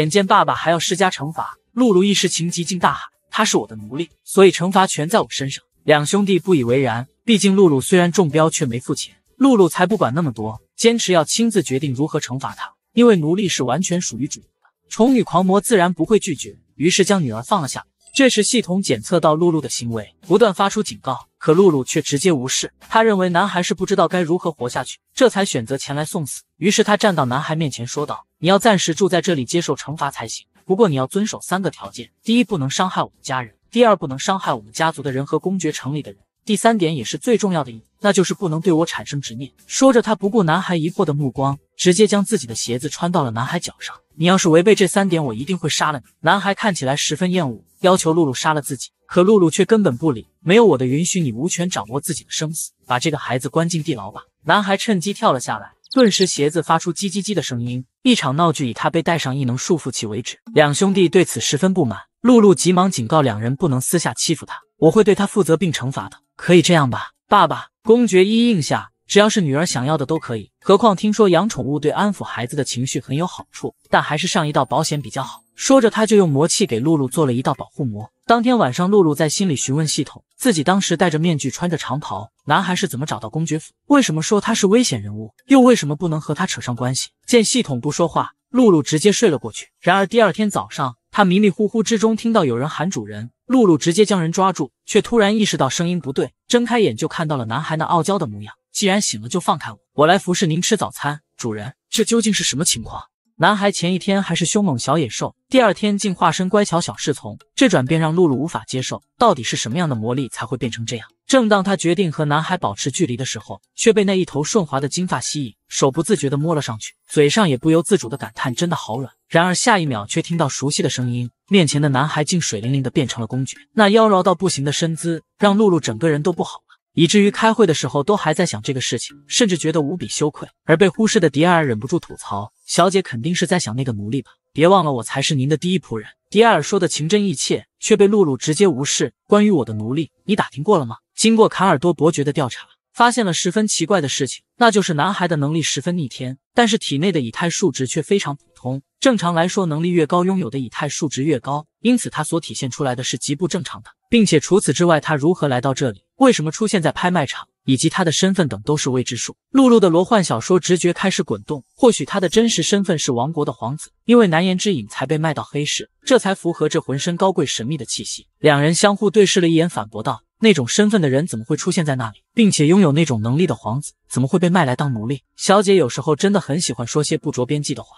露露虽然认为两人没有想象力，可因为十分有道理，竟无法反驳。就在这时，侍卫前来通报，称昨天收的奴隶男孩想要见他。按露露的看法，这么强大的孩子是危险人物的话，那么只有一种可能，那就是他拥有不幸的过往。再次见到男孩那一刻，伤痕累累的模样引起露露的担忧。本想让关心男孩，让他好好治疗，却引来了系统的警告。于是露露立刻装作一副恶女的样子说道：“我是你的主人，所以你应该要学会尊重我，知道吗？”